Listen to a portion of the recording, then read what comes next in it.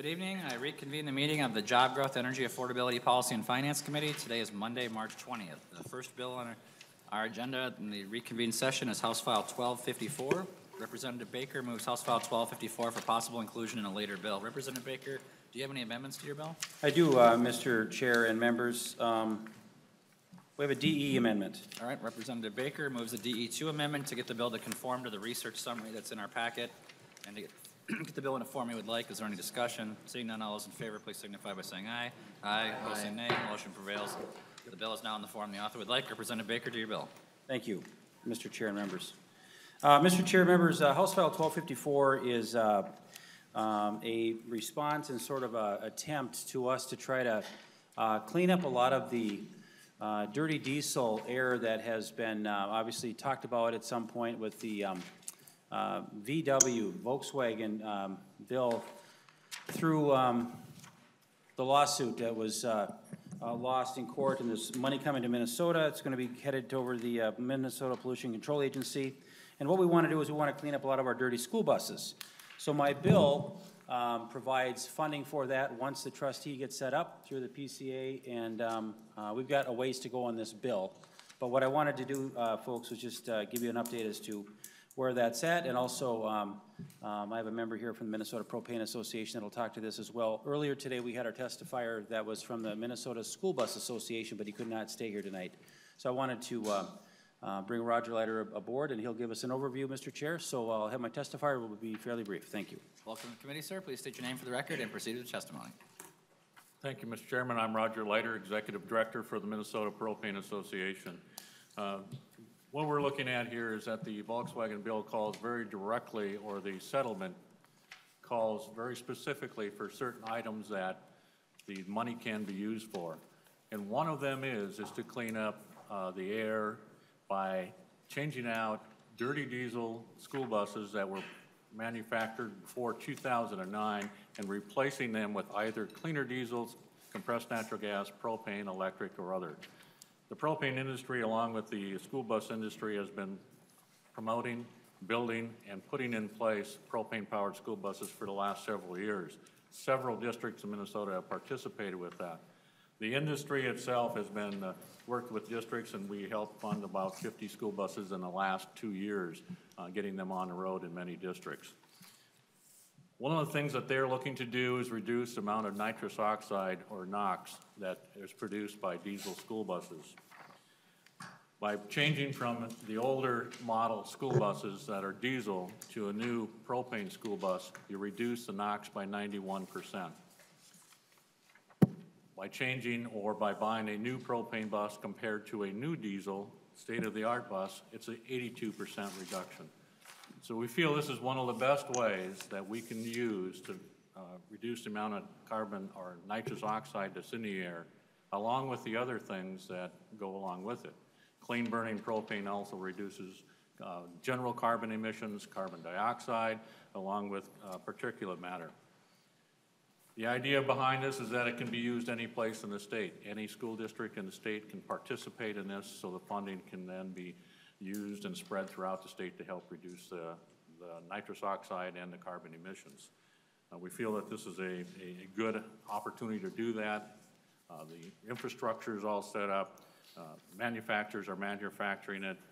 It is a answer that's already ready to go uh, and fit this bill right now. Thank you. Representative Baker, do you have any other testifiers?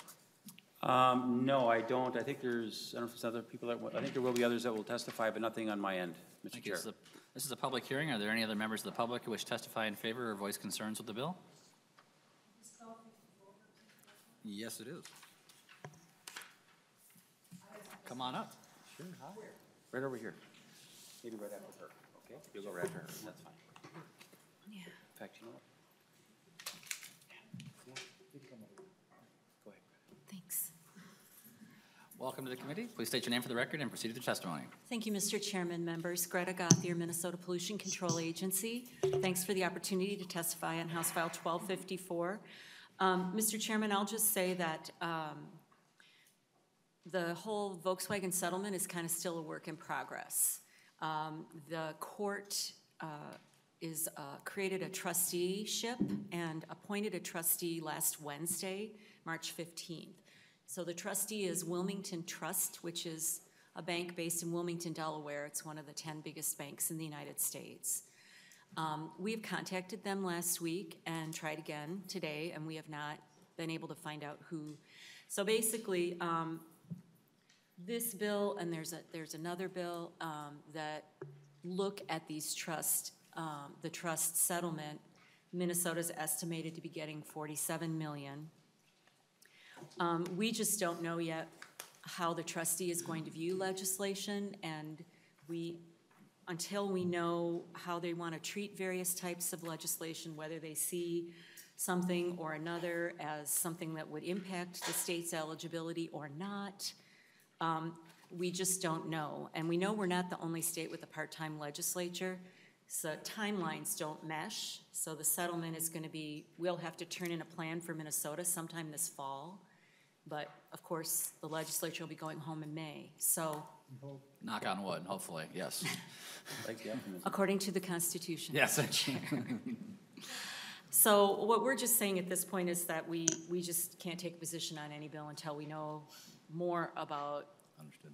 how the trustee is going to view these. The trustee has to approve every expenditure by the, uh, according to the court. So I'll just leave it at that. Thank you very much. And I want to thank the department for uh, keeping the lines of communication on this uh, issue open. I don't mean to branch into my bill later on, but uh, you guys have been very helpful in understand, and listening. And from my perspective, uh, I just want to see whatever we're applying for, that the executive branch and the legislative branch work together on that proposal. And honestly, the strike zone on what the settlement money is allowed, allows us to use to spend the money on is pretty limited. So at the end of the day, um, we're, you know, these are funds that have to be used for pollution mitigation. It's just the strategies that are involved. So I just want to say thank you, and um, I think we should, we should just keep the conversation open, but we, sh- we should be able to figure out something by the end of May. So, so thank you. Welcome to the committee. Please state your name for the record and proceed to the testimony. My name is Kathy Hollander, but I am channeling another individual who sent me an email just a few minutes ago and asked if I would speak on his behalf. So I'm reading his testimony. His name is Chuck Prentice. But he says, "I'm here to speak against House File 1254. Why would we want to use any of the VW settlement money for propane school buses when they're only marginally cleaner than diesel? When we have the option to use the VW money instead to begin transitioning Minnesota school buses to clean electric buses? The move to electric school buses has already begun in Massachusetts, Vermont, Chicago, California, and Quebec. Electric school buses are not only quieter and cleaner running than diesel or propane buses, but they have much lower costs for fuel and maintenance. And another great advantage of electric school buses is that in summer, when school buses by and large sit idle, the collective set of batteries in an all-electric Minnesota school bus fleet would provide energy storage equivalent to a 300 megawatt power plant.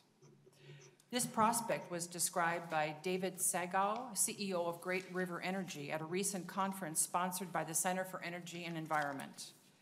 Please do not commit one-third of Minnesota's share of the 47 million to the VW settlement to propane buses, when electric buses are preferable in so many ways.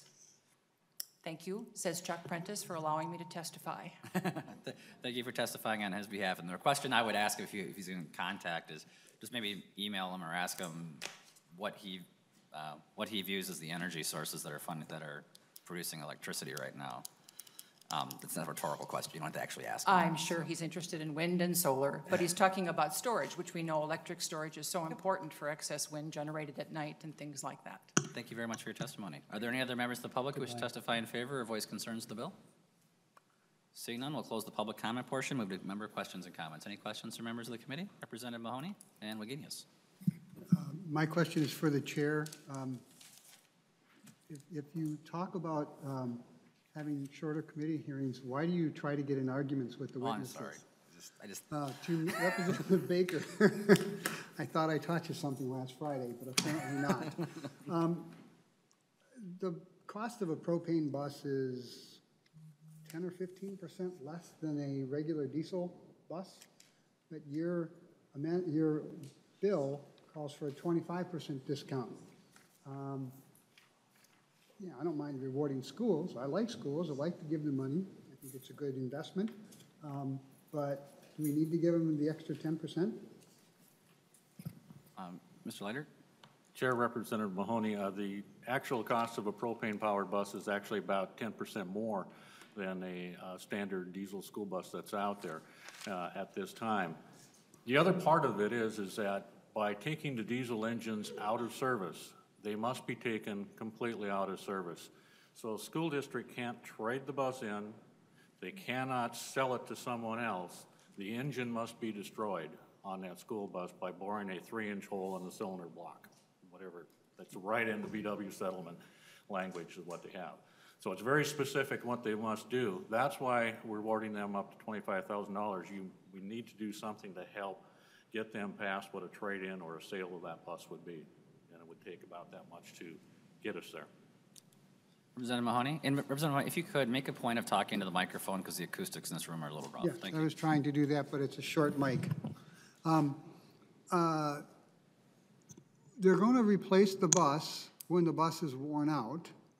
uh, And they're going to, you know, obviously they can't sell it, but they're replacing the bus when it's worn out. So again, I, I, your answer didn't satisfy my, my thoughts on it, so. Representative Wagenius?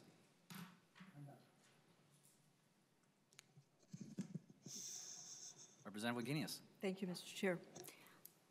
A couple of issues um, with this bill. I, I see you took out uh, charging stations, and I think that was a smart move, uh, given the fact that they wouldn't allow charging stations. Um, But that does kind of beg the question of who's going to pay for charging sta- uh, stations. You'd put that in as $25,000 uh, per group of five buses. Um, So I think that puts a burden on school districts that um, may be an unintended consequence. So with that burden, and you're deciding to use a third of the money, or almost a third of the money for school buses, if we were to adopt this legislation and the governor were to sign it, and if schools didn't apply, then the money would go back to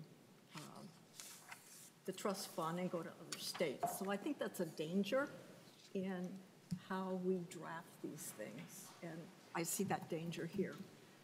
Um, So with the electric buses, uh, they did say, yes, you get charging stations along with it, which was interesting. So they were very careful in saying, no charging stations for propane, but charging stations for electric. So that's one of the differences, Mr. Chair. But I think the, um, the way you have redrafted the legislation um, probably makes it not doable, and here's why. Uh, The governor is charged with certifying that um, an agency that he chooses, and in this case, it seems to be PCA, uh, has binding legal authority to make decisions. But way, the way this is drafted, the, this is effective the day after the trustee has approved Minnesota's proposed mitigation actions. So that tells me that the governor cannot certify uh, that PCA has, can bind uh, essentially the state. So we run into a big legal problem here.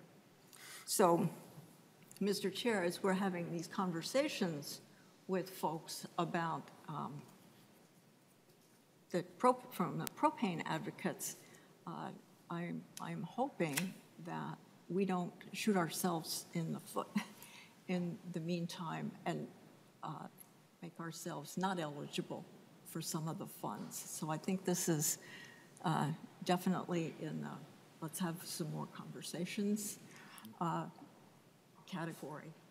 Yep, Definitely don't want to shoot ourselves in the foot or make ourselves ineligible. Representative Baker, any closing comments? I do, Mr. Chair. I guess, uh, Representative Wagenius, you have a good point, and I think it was earlier said in testimony with the Minnesota Pollution- Pollution Control. This is still kind of a fluid learning experience here. This is uh, $47 million coming to Minnesota over the next three years. We just want to make sure that we're a very viable option for this. I think part of it was clearly stated that uh, school buses should be identified, and we are clearly doing that with this. We, we removed the fueling station because it wasn't part of that trust um, agreement. So we're trying to make sure that it, when we um, have all the specifics about how to execute the, the trust and how it will be spent, um, we want to make sure that our bill is as clean as possible. So uh, we want to work with the agency, like Chairman Garofalo said, uh, they've been very good to work with as far as opening up the lines, where things are at, where they don't know. They still don't have a contact uh, right now with the bank that's been assigned to that trustee. So we're working hard on this to make sure it's ready to go, and uh, we think this is a great idea. And uh, because we are a part-time session, we are going to be done in May, for sure, Um, and we need to make sure we get everything in place that we can. With that, Representative Baker renews his motion to have House File 1254. The, well, that was kind of the closing statement there, but did you want to elaborate on it more, Representative Wagenius? Well, we are, um, Representative Wagenius? thank you, Mr. Chair. Uh, There is another consideration. I mean, I know that PCA has contacted the trustee, but the document that the court has provided for us is crystal clear. I mean, it, uh, they may want to talk to the trustee, and that's always a good idea, but the document is quite well written, and uh, so that's one thing. But the document also includes in it a section that says the state must um, consider the potential beneficial impact of its selected actions on air quality in areas that have a disproportionate share of air pollution burden, which adds another layer here um, to what PCA needs to consider, and what this committee needs to consider as it's advocating just strictly for uh, propane. I mean, I think we have to have, I think we have to all read the document that the court gave us, uh, because it's pretty clear. With that, Representative Baker renews his motion to have House File 1254 as amended, laid over for possible inclusion in a later bill. Thank you, Representative Baker. Uh, Representative Baker now moves House File 2278 for possible inclusion in a later bill. Representative Baker, do you have any amendments to the bill? Um, Let's see. Um, I don't- No, I don't. Okay, Representative Baker, to your bill. Thank you, Mr. Chair and members. Um, House File 2278 is a, hopefully a beginning of a, a conversation that I'd like to have um, this session, and I think this sort of tees up uh, more conversations coming up in the interim, also uh, next session.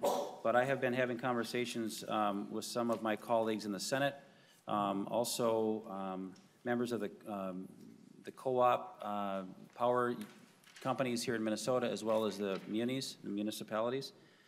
But we want to take what's known as CIP, the uh, Conservation Improvement Program, that has started about 25 years ago in the state of Minnesota. And if you recall, back in the day, um, a lot of uh, things like appliance rebates and uh, energy conservation ideas are shared with co-ops and municipalities to try to enhance uh, purchasing for um, more energy-efficient products.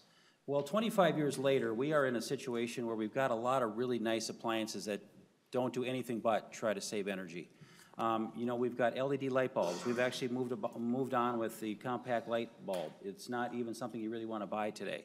So what I want to do is create a conversation and, and some new updated um, policies with the department um, to start uh, the conversation about um, being reasonable about the uh, energy plan of, of reinvesting one and a half percent of our energy um, revenues and trying to make sure that uh, those are actually being put to good use, because right now, I'm hearing from a lot of co-ops, a lot of municipalities, they cannot find uh, any more um, investments that they can make prudently in their local co-ops and the municipalities without spending more money than what they can actually try to save their customers. So I think that we've kind of gone beyond a tipping point with um, what was then a good program 20 years ago has sort of the last five years has been a challenge.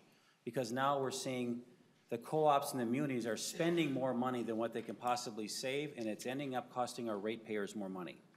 So my idea today is uh, to really, um, and with the department and, and some of the conversations that I've had, uh, we want to take this, and, and this session isn't the time to really dive into deep with policy, but what I wanted to do was create a, kind of a cleanup mode, because the the uh, commissioner, um, uh, Commissioner Grant will be up, I think, later on to talk to the bill.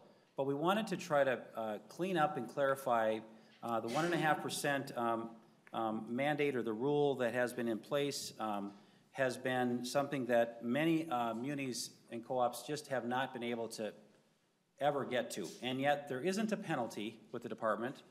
Um, But we do want to make sure that we just sort of understand and appreciate, no matter how we want to reformulate this in the future by coming up with new ideas and new standards, uh, maybe new investments, uh, that we want to at least accept the fact that there's some very, very small munis and co-ops around Minnesota. And this bill really sort of brings up and cleans up the bottom. So my bill, um, members, talks about um, removing the 1,000 um, electric um, customers in a municipality if they have a 1,000 members or less, and also a co-op that has 5,000 members or less. And this is something that I think just eliminates them from the CIP conversations going forward, because we really want to talk about those folks, no matter really what we're going to be doing in the future. I don't know how much they're going to be able to participate as well, because they're not participating now. Again, I'll, I'll say it again, there isn't a fine.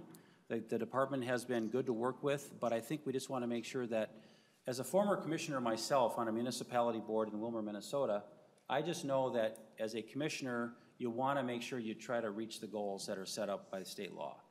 Um, I'm just trying to bring up the starting point of uh, working with all, all folks with green energy and the department, with the munis and the co-ops to make sure that as we move forward, we want to help uh, make sure that we're talking to the folks that actually can do something within their organizations to make sure that they're saving the energy that the, this, this bill is intending to do. And the whole um, launch of, of the CIP program uh, 25 years ago is, is moving in the right direction. I think CIP has been a, a good program over the years. I think it's a time to celebrate this.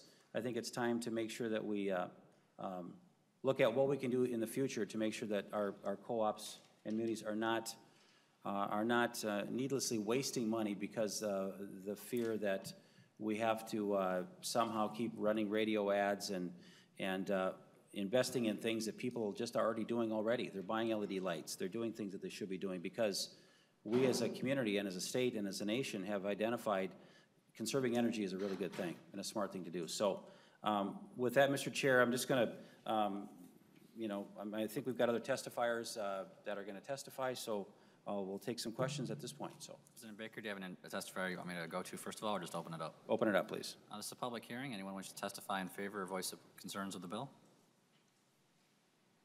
Seeing that, oh, yeah, no, yeah, yeah, no, yeah.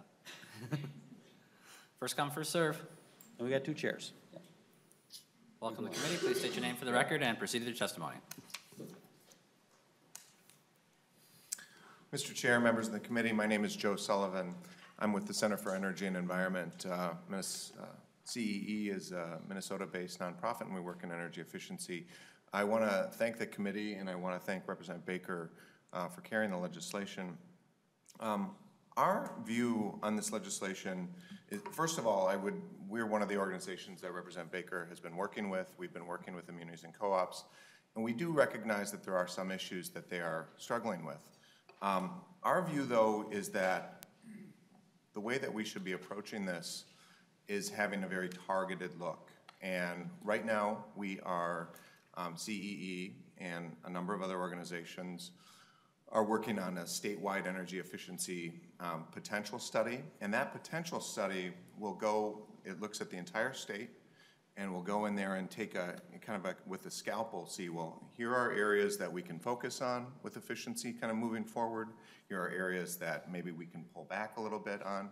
And, and we think that's the best way to move forward, is to have a, a very um, kind of detailed look at where efficiency stands today and where it's going in the future. Um, We're working on that uh, study. That is a CARD-funded, a conservation um, approved, or conservation research dollars that go through the department. We're working on that study with the Department of Commerce, um, other uh, organizations that do modeling and energy efficiency work. And then the technical review committee for that um, are a number of the utilities in the state. And we, we think that's the, kind of the best way forward, and that that, the outcome of that study is what should drive the policy discussion going forward. So with that, I'd be happy to answer any questions. Um, And I, and I really do appreciate um, um, where Representative Baker is coming with the legislation, but we'd like to maybe have a little bit more of a, kind of a scalpel approach uh, to addressing the issue. So with that, I'd happy to answer any questions. Thank you. Next, Ms. Levenson Falk. Thank you. Oh, thank you very much. Appreciate that.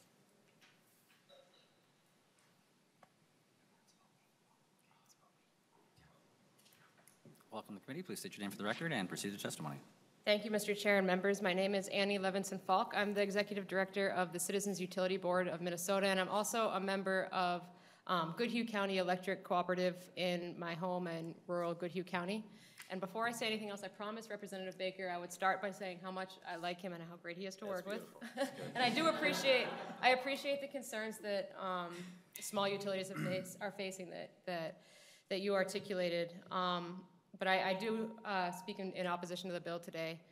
Um, At the Goodhue County Electric um, Co-op meeting, annual meeting this weekend, I learned that the co-op has about 5,050 members. So it comes in just barely above the line to qualify for the, for this um, exemption in the bill. And if membership declined even back down to its 2014 level, um, it would be under 5,000. So it's right on the line of um, maybe being exempt or not from one year to the next, I think. Um, And conservation programs are great options for people like me to bring down our utility bills and also our environmental impacts. I moved into my home last summer, and though it's a small house, it seems to use a lot of electricity, I've noticed. So it's a personal goal of mine to make my, the house as efficient as possible, both to reduce my environmental impacts and just to save money. Um, and I'm planning on using the utilities, um, the co-op's rebates to help with that. Conservation programs can save money for all co-op members as well. Purchase power is by far the largest expense for um, Goodhue County Electric. It makes up about 65% of expenses, or it did in 2016. Um, And if members like me can bring down our uses, and particularly at peak times when um, the, the co-op is buying very expensive power from its supplier, um, that can save money across the whole system. And the conservation pro- programs can help with that. I haven't done the math. I assume that relatively few people across Minnesota will be affected by this proposal because it would only apply to people in the smallest towns. But the conservation rebates are important to people like me, and we should have access to the same kinds of programs that are available to people who live in larger cities. Rural Minnesotans already don't have access to most um, conservation incentives for heating and weatherization because we don't, we are not served by a natural gas utility. Um, So for the Citizens Utility Board, from the perspective of residential ratepayers, this is also an equity issue for rural customers. I understand that it might be difficult for small utilities to meet their one and a half percent uh, conser- energy conservation goal each year, but I hope that you'll consider other options to help them rather than exempting utilities from the program altogether. Thank you. Thank you. The next testifier please come forward? Thank you so much. And are there any other testifiers after this gentleman? Make way up there. Welcome to the committee. State your name for the record and proceed to the testimony. Thank you, Mr. Chair. Members of the committee, my name is Will Nissen. I'm the Director of Energy Performance at Fresh Energy. We're an independent nonprofit that provides in-depth research and analysis of energy uh, policy across Minnesota. I also want to express appreciation to Res- Representative Baker, uh, who over the years has expressed interest in uh, enhancing our CIP programs here in the state. Uh, We've worked with him in previous years to pass legislation, uh, but I'm here to express some concerns about House File 2278. Uh, By exempting cooperative utilities under 5,000 customers and municipal utilities under 1,000 customers from the state CIP program, we are telling families, businesses, and schools in rural communities that they shouldn't have the same chance to cut energy waste and save money. In total, 11 cooperatives and 37 municipal utilities would be carved out under this language, uh, totaling more than 62,000 individual customers in the state. Uh, Of those 48 utilities, as with all of Minnesota's utilities, uh, some of them uh, are currently exceeding the Minnesota, uh, Minnesota's energy savings goals, while others are not. And as Representative Baker said, there is no penalty for, for not meeting the goal. Uh, Many distribution utilities uh, have some flexibility in how they meet the state's goals. Uh, They can aggregate uh, with their uh, gen- generation and transmission co-op, or with their public power agency. Picking and choosing co-ops and munis at a certain customer size ignores that flexibility and that nuance. Some small utilities work with others to easily meet CIP goals. Some larger utility, larger utilities go it alone and could have a hard time. And the data we see in the filings uh, show that customer size does not determine how utility may perform on uh, conservation. Uh, So again, while we acknowledge that there is improvement, uh, we don't think that uh, setting this uh, customer size level uh, is the right way to move forward. And for these reasons, we would urge against moving this bill this session. Thank you. Commissioner Grant. Thank you, Mr. Chairman. Bill Grant for the Department of Commerce. Uh, House File 2278 would exempt small co-ops and municipal utilities from participation in CIP, the Conservation Improvement Program, using the thresholds for exemption in Representative Baker's bill, and I like my numbers better than uh, Mr. Nissen's. Uh, We think about 12 out of 44 electric cooperatives, or some 40,000 co-op customers, would be exempt, and 38 out of 125 municipal, util- muni- municipal utilities, another 20,000 customers, would be deprived of energy conservation services that utility customers around the state have come to rely on. These services include energy audits of customer homes and businesses, rebates and other financial incentives for energy efficient lighting and appliances, and building insulation services, to name just a few. Our estimate is that uh, eliminating these utilities from the program would leave about 5%, just under 5% of the savings that we currently achieve on the table. Department has worked diligently over the past year with Representative Baker, uh, co-ops and munis to identify ways for smaller municipal and- and cooperative utilities to meet their energy conservation goals by providing greater flexibility and technical assistance services. We have also initiated, as several testifiers have already mentioned, a statewide energy conservation potential study that, when complete, will provide up-to-date information for every utility in the state about the conservation potential remaining in their service area.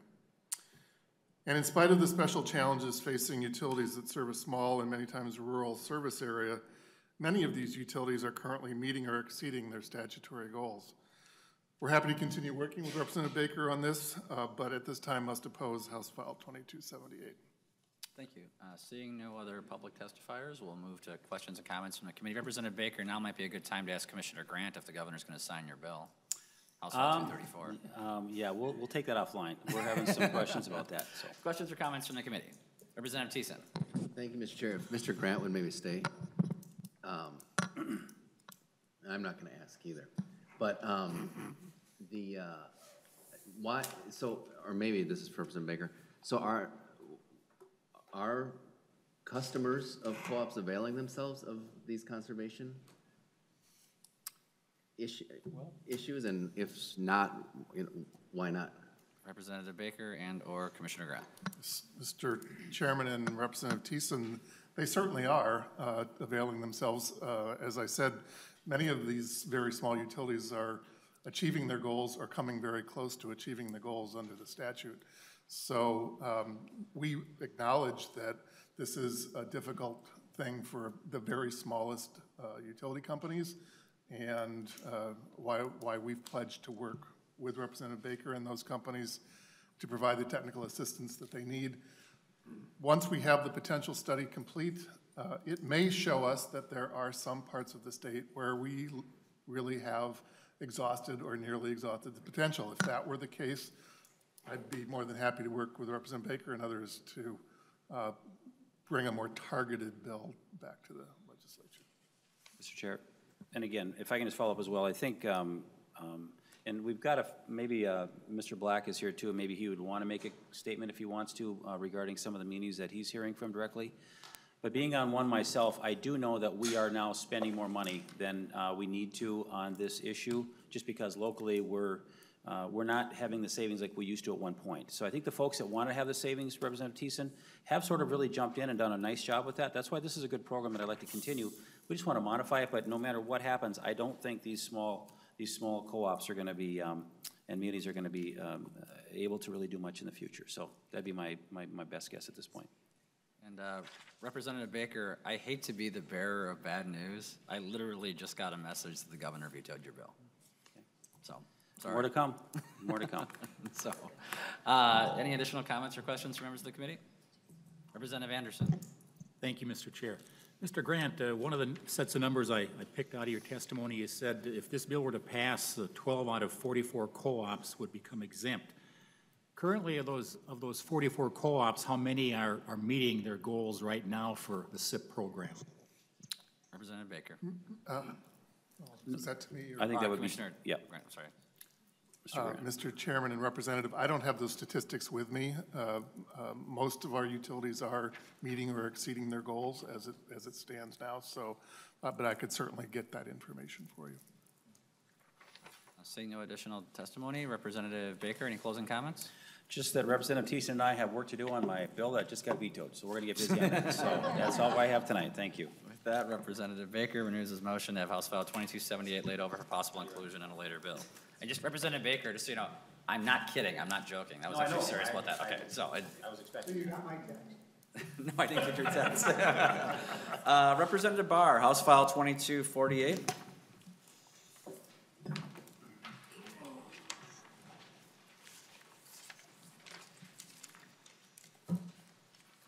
Representative Bahr moves House File 2248 for possible inclusion in a later bill. Representative Bahr, to your bill.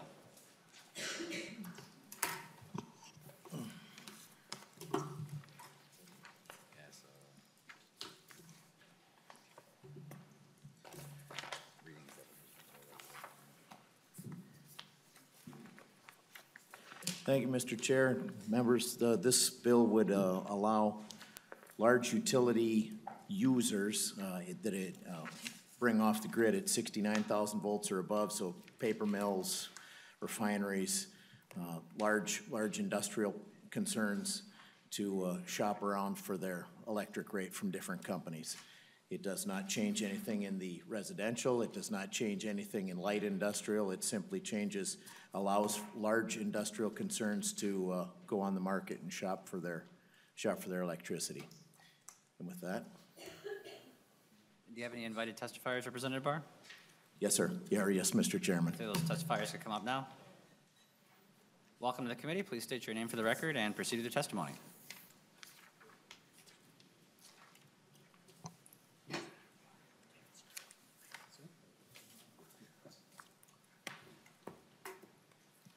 Good evening, Mr. Chair, members of the committee. Uh, Thank you for the opportunity to testify in support of House File 2248. My name is Andrew Moratzka. I'm a partner at the law firm Stoel Rives and focus my practice on representing large industrial end users of uh, energy and independent power producers on matters before the Minnesota Public Utilities Commission. My work over the past decade has spanned many regulatory dockets, including utility rate cases, utility resource plans, and certificate of need proceedings. I am testifying today on behalf of the Minnesota Large Industrial Group, an ad hoc coalition of large industrial end users of electricity who, as a group, consume in excess of 6 billion kilowatt hours annually and pay more than $350 million in electric bills.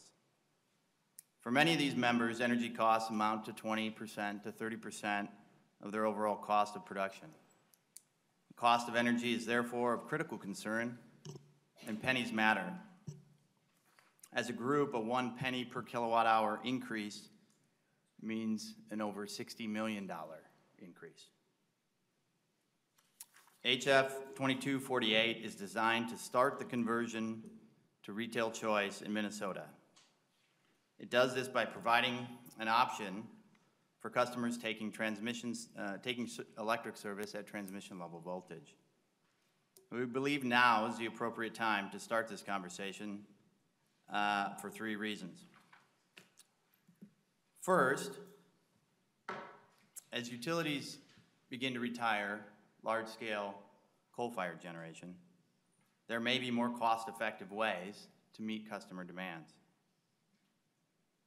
For example, and as a means to reduce costs utilities incur for generation to replace this coal-fired generation, it could be helpful for all ratepayers to allow customers served at transmission level service to bear market prices, enter into long-term power purchase agreements, and/or build their own generation. In other words, House File 2248 could be a step to privatize costs and socialize benefits. And these benefits are significant. A recent study prepared for the Northeast Ohio Public Energy uh, Council by faculty of Cleveland State University and uh, the Ohio State University found that deregulation had saved ratepayers $3 billion per year over 2011 to 2015, or $15 billion. And Minnesota would not be the first state to go down this path. One-third of national electric consumption is accounted for by 14 jurisdictions that allow near-universal retail customer choice at the retail level. This includes Connecticut, Delaware, uh, District of Columbia, Illinois, Maine, Maryland, Massachusetts, New Hampshire, New Jersey, New York, Ohio, Pennsylvania, Rhode Island, and Texas. The second reason we believe now is the appropriate time to do something is that we believe that the legislature needs to, can and do, should do something to address the increasing uncompetitive rates large industrial customers pay for electricity. As a state, our competitiveness has dropped from 15th to 27th, from 1990 to 2015, respectively, according to data available from the United States Energy Information Administration. Regionally, we don't look very good. In testimony that was put forth in the pending Xcel Energy rate case, experts testified that for C&I customers, Xcel's rates are higher than the state averages in Minnesota, South Dakota, North Dakota, the West North Central region, and the national average. Looking at increases uh, faced by customers of Minnesota Power, those customers' rates have increased over 60% since 2007. These customers, and large customers on other investor-owned utility systems, have done everything in their power to control rates. These include energy efficiency, rate case participation, implementation of the energy-intensive trade exposed rate. Yet at every turn, parties in the Minnesota Public Utilities Commission put up roadblocks, either through the regulatory process or by unfairly assigning costs. The current path is not sustainable. Jobs are at risk, tax revenue is at risk, and now is the time to level the playing field and allow customers uh, to take matters into their own hands. And finally, committee members, I want to emphasize that the, legis- the legislature passed and the governor signed into law a bill that allows a regulated utility to skirt regulation.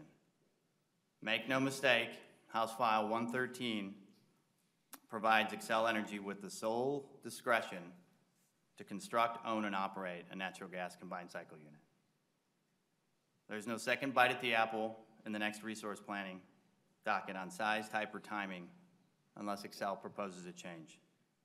If the regulated entity can bypass regulation, it is only fair for customers to be given that option as well. And with that, I will conclude my remarks and happy to answer any questions the committee members may have. Thank you. Welcome to the committee. Please state your name for the record and proceed with your testimony. Uh, uh, Mr. Chair, members of the committee, my name is David Strom, not spelled A-O-A-O. Uh, um, I'm the research director of the Minnesota Conservative Energy Forum. This is, by the way, the first time we've testified uh, in front of the legislature, and it's very exciting for me uh, to have the opportunity to speak. Uh, we're a nonprofit organization uh, that has been formed to promote competition and the expansion of clean energy through consumer choice here in the state of Minnesota.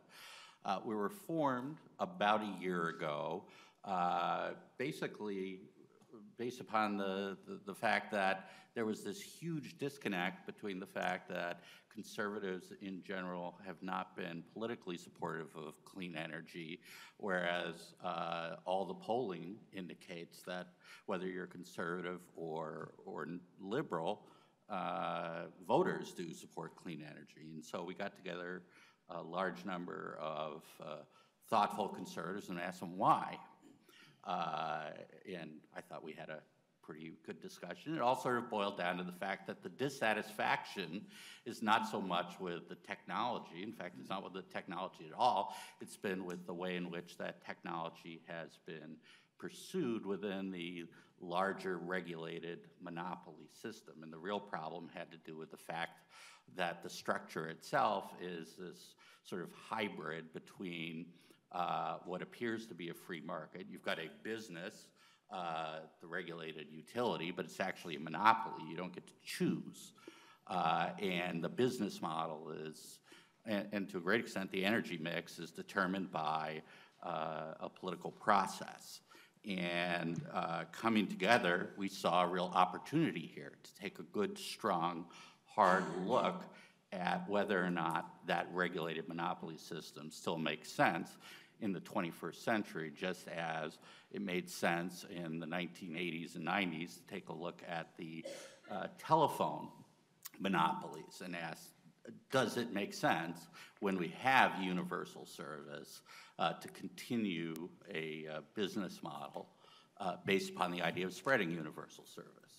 And so uh, we're here to hopefully open up the conversation for uh, consumer choice, retail choice, and we also believe that given the consumer demands out there, you will see a, a expansion of clean energy. The demand is there, uh, both among uh, large customers and among consumers. And uh, we think this, this bill is a good opening step to taking a look at the larger question of whether the current regulated utility model makes sense.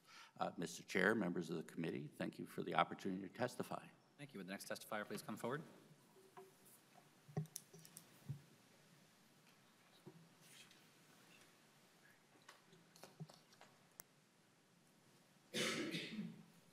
And if whoever's on deck wants to come and sit next to Ms. Levenson Falk, that's okay. That way we don't, don't lose walk-up time. Welcome to the committee. Please state your name for the record and proceed your testimony. Thank you, Mr. Chair and members. Again, my name is Annie Levenson Falk. I'm the Executive Director of the Citizens Utility Board of Minnesota. Um, we advocate for residential and small business utility consumers. This bill presents an interesting idea and one that I think is worth exploring. Um, there may be advantages for large customers if they could purchase electricity directly from suppliers, and there might also be advantages for other utility ratepayers, as the testifiers indicated. For example, if large customers opting out of the utility system could allow us to avoid building replacement for some of um, the power plants that will be retiring in the coming years, or if large customers would buy more renewable energy, reducing air emissions. However, there are also enormous potential problems that need to be addressed before a bill like this will be ready to move forward. Utilities have built generation and transmission to meet the needs of their large customers, and those investments are being paid off through utility bills. If the large customers opt out of the utility system, though the investments will still need to be paid off, and the cost shouldn't be transferred to the ratepayers who remain on the system. How will the cost of infrastructure that's built for customers who leave the utility be dealt with? The bill is silent on this question. Another question is how independently purchased power will be covered by state energy policies like the Renewable Energy Standard. And I expect there are, there are significant other effects that I'm not thinking of today, but that would be discovered with full consideration of this proposal by the affected stakeholders. Other states have allowed retail electric choice for large customers. I understand in some states it's working well, with few effects on ratepayers who remain on the utility systems. And in other states, experiences have, been messier. Minnesota can learn from the states that have gone before us to address potential problems before they arise. This bill is certainly not ready to be passed, and I strongly oppose the bill today. However, I've spoken with Representative Bahr, with Mr. Moratzka, with the Conservative Energy Forum and others, and I would look forward to working with them to figure out if Minnesota can move in this direction in a way that also protects residential and small business customers. Thank you. Thank you. Commissioner Grant. Thank you again, Mr. Chairman. Bill Grant for the Department of Commerce.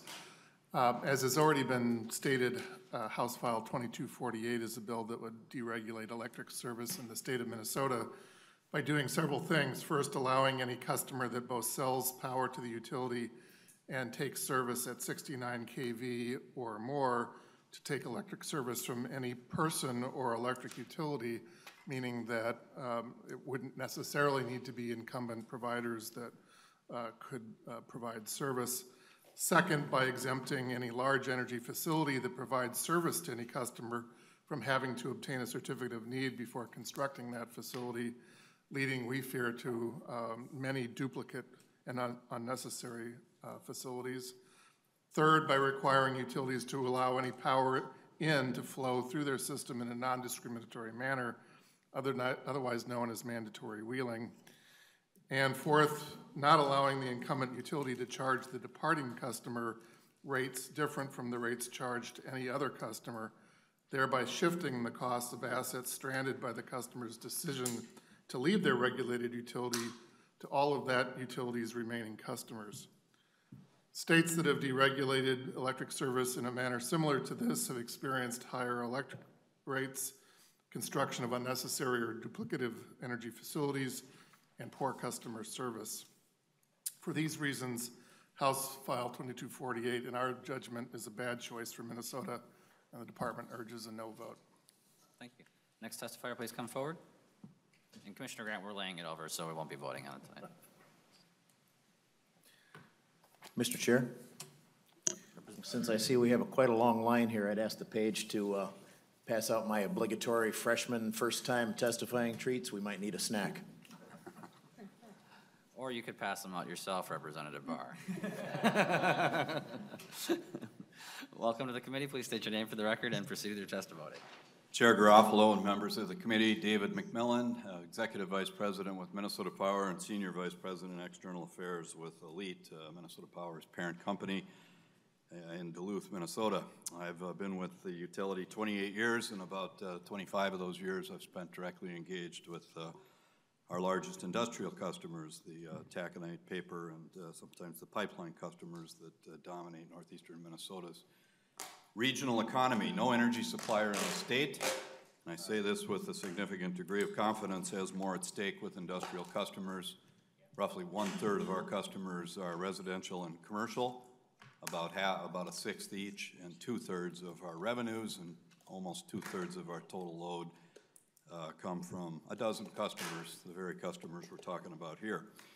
With that in mind, you can imagine um, that our interest in competitive electric rates for the state's industrial customers is paramount.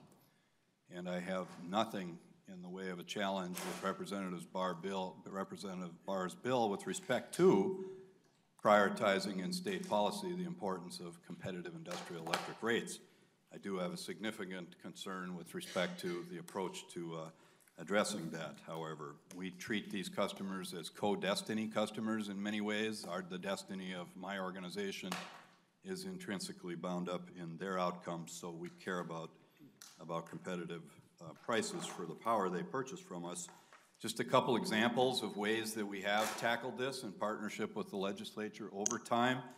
We have uh, addressed uh, the rate design issues themselves, directing you the legislature directed the commission to uh, put a discount in place for our industrial customers and, uh, and then increase rates for other customers. I note for of great importance, that process is in play right now.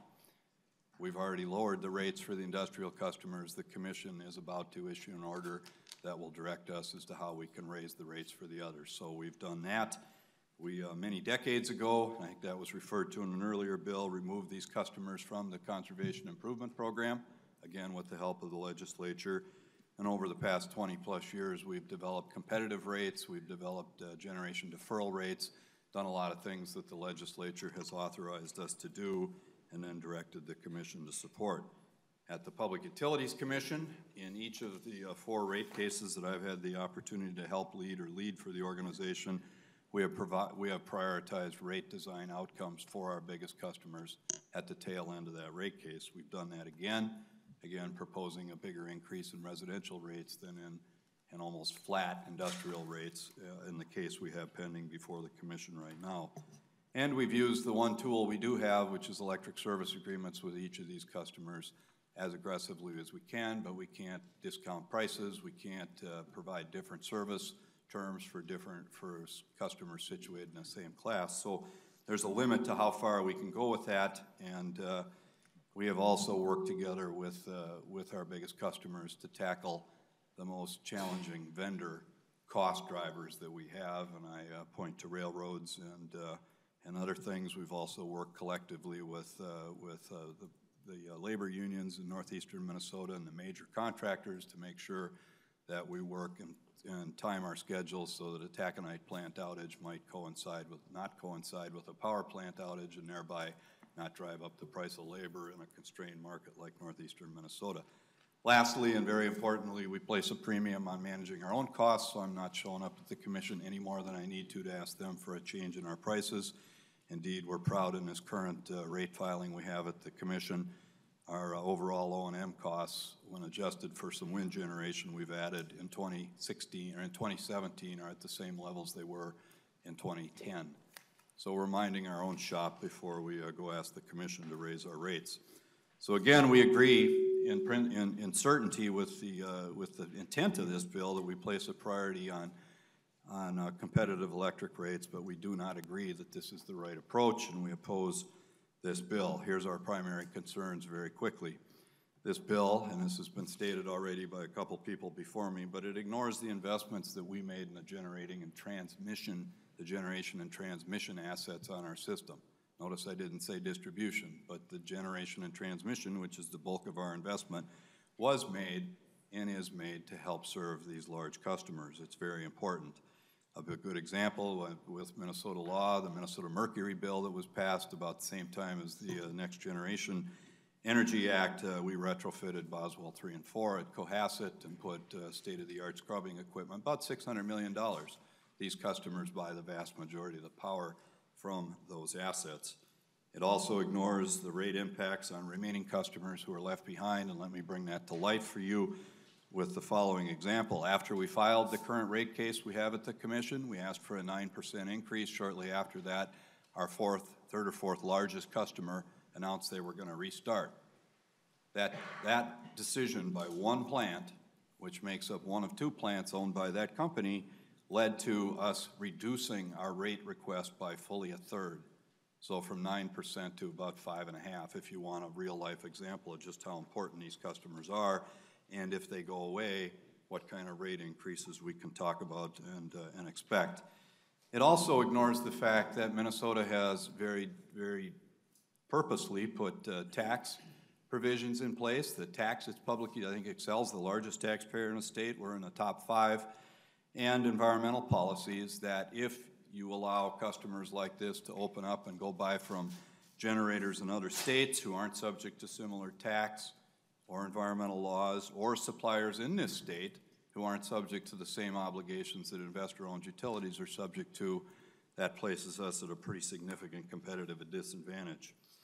And lastly, I think it uh, does not address the fact that outcomes in deregulated states have been positive in some cases, but not in all. In fact, I'm not sure even in half of them. And uh, there's some carnage left behind at the end of all that for big and small customers alike. So I'll close with the following. We're committed to championing very, very competitive industrial rates. I've cited some of the examples of how we've tried to deal with that over the last 20 years. I'd tackle more in questions if you're interested, but uh, my opposition to the bill does not in any way, shape, or form reflect an opposition to competitive electric rates for big customers. Thank you.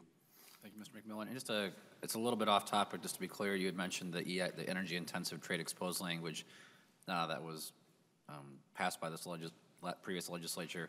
To be clear, while it did lower the rates for those large customers, is it still true that all we're doing is reducing the amount of subsidy that they are doing for the rest of the, uh, the customers in your area? Chair Garofalo, there is a cross-subsidy built into our rates, but there's plenty of people in the room that would argue that that doesn't exist. But that is exactly what we did in that case, was redesign rates to lower industrial and raise residential. In our current rate case, again, we're proposing a 15% increase in residential and almost flat in industrial. So it's a, it's a symptom of that, yes. Yep, absolutely. Okay, thank you. Mr. Evans? Uh, Mr. Chair, members of the committee, I'm Rick Evans with Xcel Energy. Um, I wanted to go last because then everybody else had said everything that needed to be said, and I can just say me too. But let me add just, just a couple of points. Uh, first of all, as I mentioned uh, to Representative Bahr earlier today, you know, we have, we have gone a long way in this conversation about deregulating the state of Minnesota about 15 years ago. Uh, at that, maybe 16 years ago, at that point, the state decided to stick with its regula regulated system uh, we would, we would be happy to engage in that conversation again and explore all of the avenues that might be available in both a regulated system and a deregulated system. So when witnesses talk about starting the conversation, we're, we're uh, more than happy to engage in that conversation. We think we have a lot to add to it, and we can weigh the pros and cons. Uh, The problem with the bill that's before you today is that it is, it is a piecemeal, partial deregulation, which creates significant uh, potential losers as you take apart part of the regulated industry uh, for certain select customers and leave the rest of the customers in a regulated industry. And people have already touched on some of this. Uh, I, I do want to mention, because, you know, people often talk about the fact that the utilities are monopolies within their service territory, and that's certainly true. But there's another side to that regulatory compact that, you know, doesn't get mentioned as much. We have an obligation to serve every customer who moves into our service territory. We cannot tell a customer, you're too expensive to serve, we don't want to build anything, we don't want to make investments to serve you. That's not an option we have. If you're in our service territory, we have to serve you. Uh, in addition to that, in exchange for the monopoly status that we get in that service territory, we're subject to rate regulation. We're not able to raise our prices because our costs have gone up without coming to the state of Minnesota and having that approved. And most, as importantly, is the fact that we submit to planning. We don't get to build plants and charge our customers for those plants just because we think it's a good idea. We go through an extensive regulatory process. And the things that we build take years and years and years to plan and, and build. And so all of this works seamlessly in a regulatory compact that includes not only our biggest customers, but also our smallest customers. Uh, as people have already mentioned, when we make a large investment based on our legal obligation to serve these customers, plus the long planning horizons, plus the planning that, that we have to do in coordination with state regulators, we make significant hundreds of millions of dollars of investments.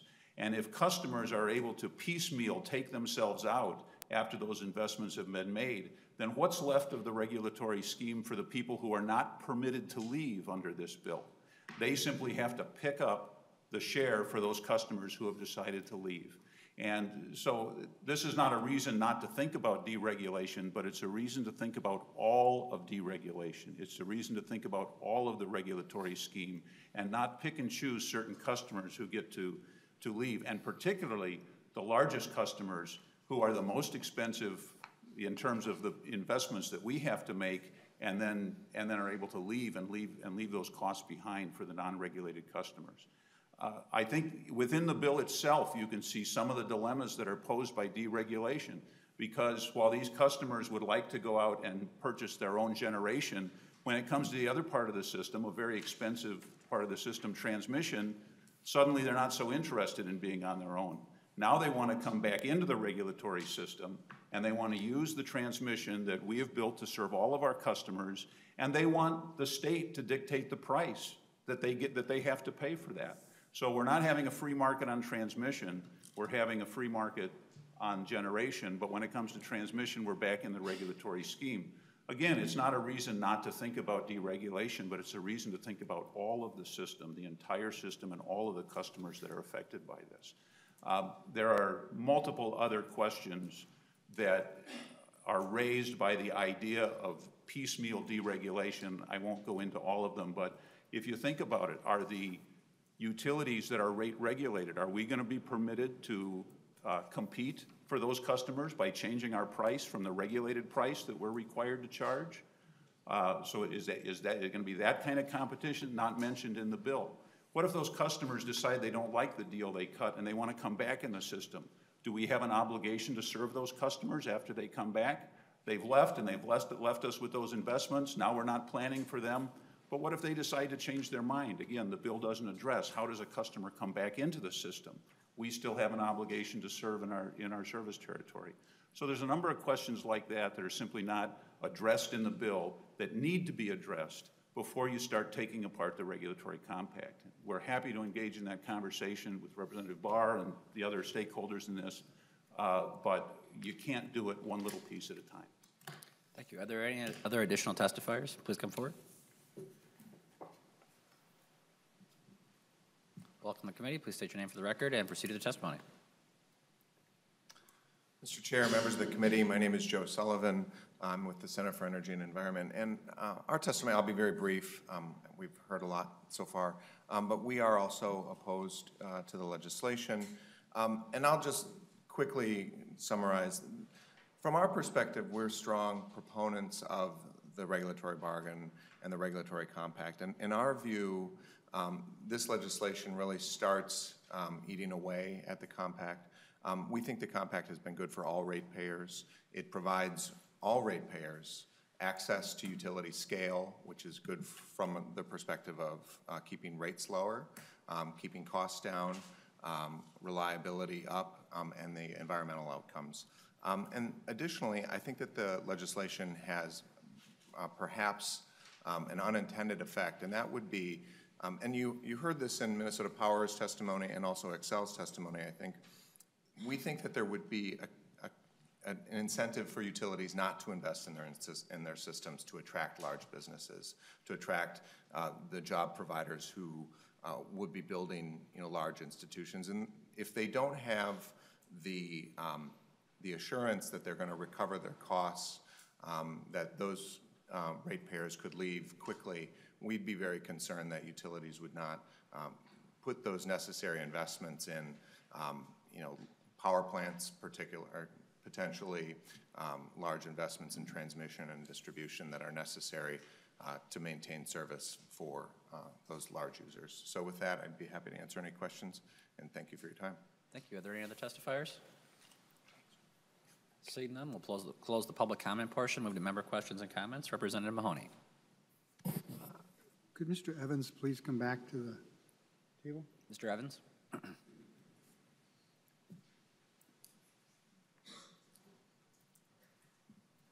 And while we're waiting for Mr. Evans, Representative Bahr, I just want to tell you, these are outstanding. These are, it's like, this is the new winner for the, the year. This is, Thank you, on Mr. my Chair. Italian heritage. Nicely done. So I just want, I just want everyone to realize that um, I haven't had one. I don't know if they started here or if they just skipped me, but I'm, Representative Mahoney, I'm sure you can respect the fact that they were redistributed around the table. so Mr. Representative Mr. Mahoney. Mr. Evans, would you appreciate it if uh, the customers that had to come back to you um, um, had to pay a 30% penalty forever? Uh, Repre- Kind of like another idea that's floating out there? Mr. Evans. Uh, Mr. Chair, uh, members of the committee, and Representative Mahoney, you know, I, I think, uh, I, I, I understand the spirit in which your question is asked. I guess what I would say is that you, you have to look at the entire system, and there would be costs. There would be costs to coming back, just like there would be costs to leaving. Uh, You know, the- there, a recent example that, that uh, actually somebody pointed out to me earlier is, you know, when Nevada went through this process and some of the big casinos wanted to leave the system, they were imposed, there were costs imposed on them because they were leaving behind an incumbent utility that had built their infrastructure in order to serve that customer. And so when the customer left, there were costs, and those were imposed on some of the large casinos as a price of, a price of leaving. So I guess what I would say is, there's, there's a way, you know, if, if we, if the state of Minnesota decided to move to an unregulated system and change the regulatory compact and all of that sort of thing, there will be costs. There'll be costs about leaving, there'll be costs about coming back, and all of those need to be, you know, they can all be calculated, they need to be calculated, and they need to be accounted for if we're gonna, you know, move from one kind of a system to another, to another system. Representative Mahoney. Okay, One, one more question. Um, You know, after, after we allowed one of your larger customers, Koch Oil, uh, Flint Hills Resources, to leave with their cogeneration plant, uh, with that coming down the pike, because I know it's not online yet, if some of the other big ones left, how much would um, the uh, utility rates go up for many members of this particular committee? Representative Bahr, trying to cost me money. Mr. Evans.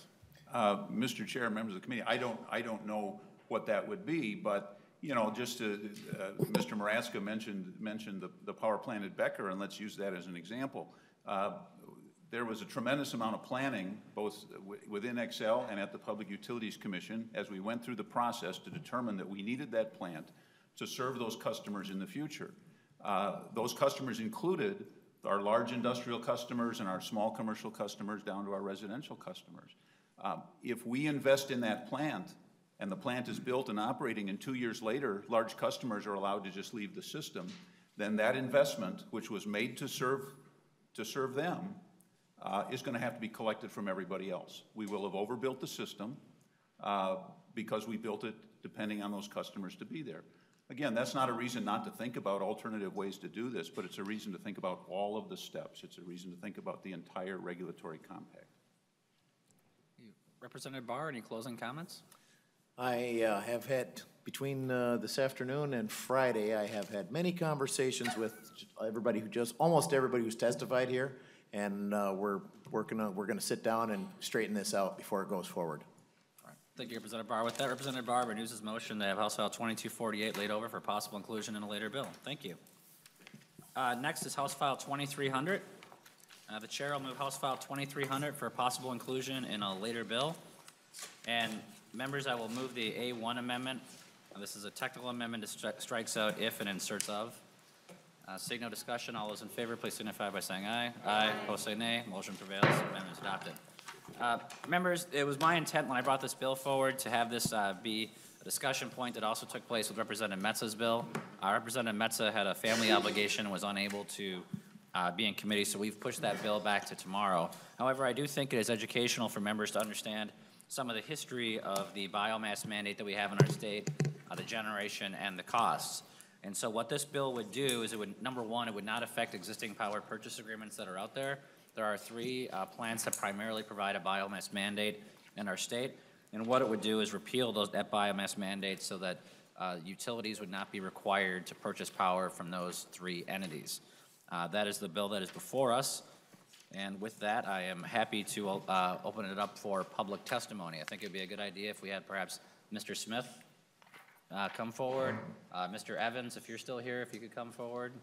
And if, uh, is there someone from Laurentian here? If not, Then this will be a, a good point. So, again, we'll keep the conversation limited, but I think it's important to note that there are three different uh, plants. And uh, maybe we could start, first of all, with Mr. Evans, then move to Mr. Smith to explain kind of a- just a little legislative history 101 of why you're buying this power, why these plants were built, and the decisions that have been made there. And then perhaps you could touch on the issue of the changes in the wholesale market and why, um, just basically touch a little bit on what- what's happening in the wholesale power market. And so, Mr. Evans, we'll start with you. Uh, Mr. Chair, uh, members of the committee, I'm Rick Evans with Xcel Energy. Uh, The the biomass mandate originated in uh, a very large energy bill in 1994.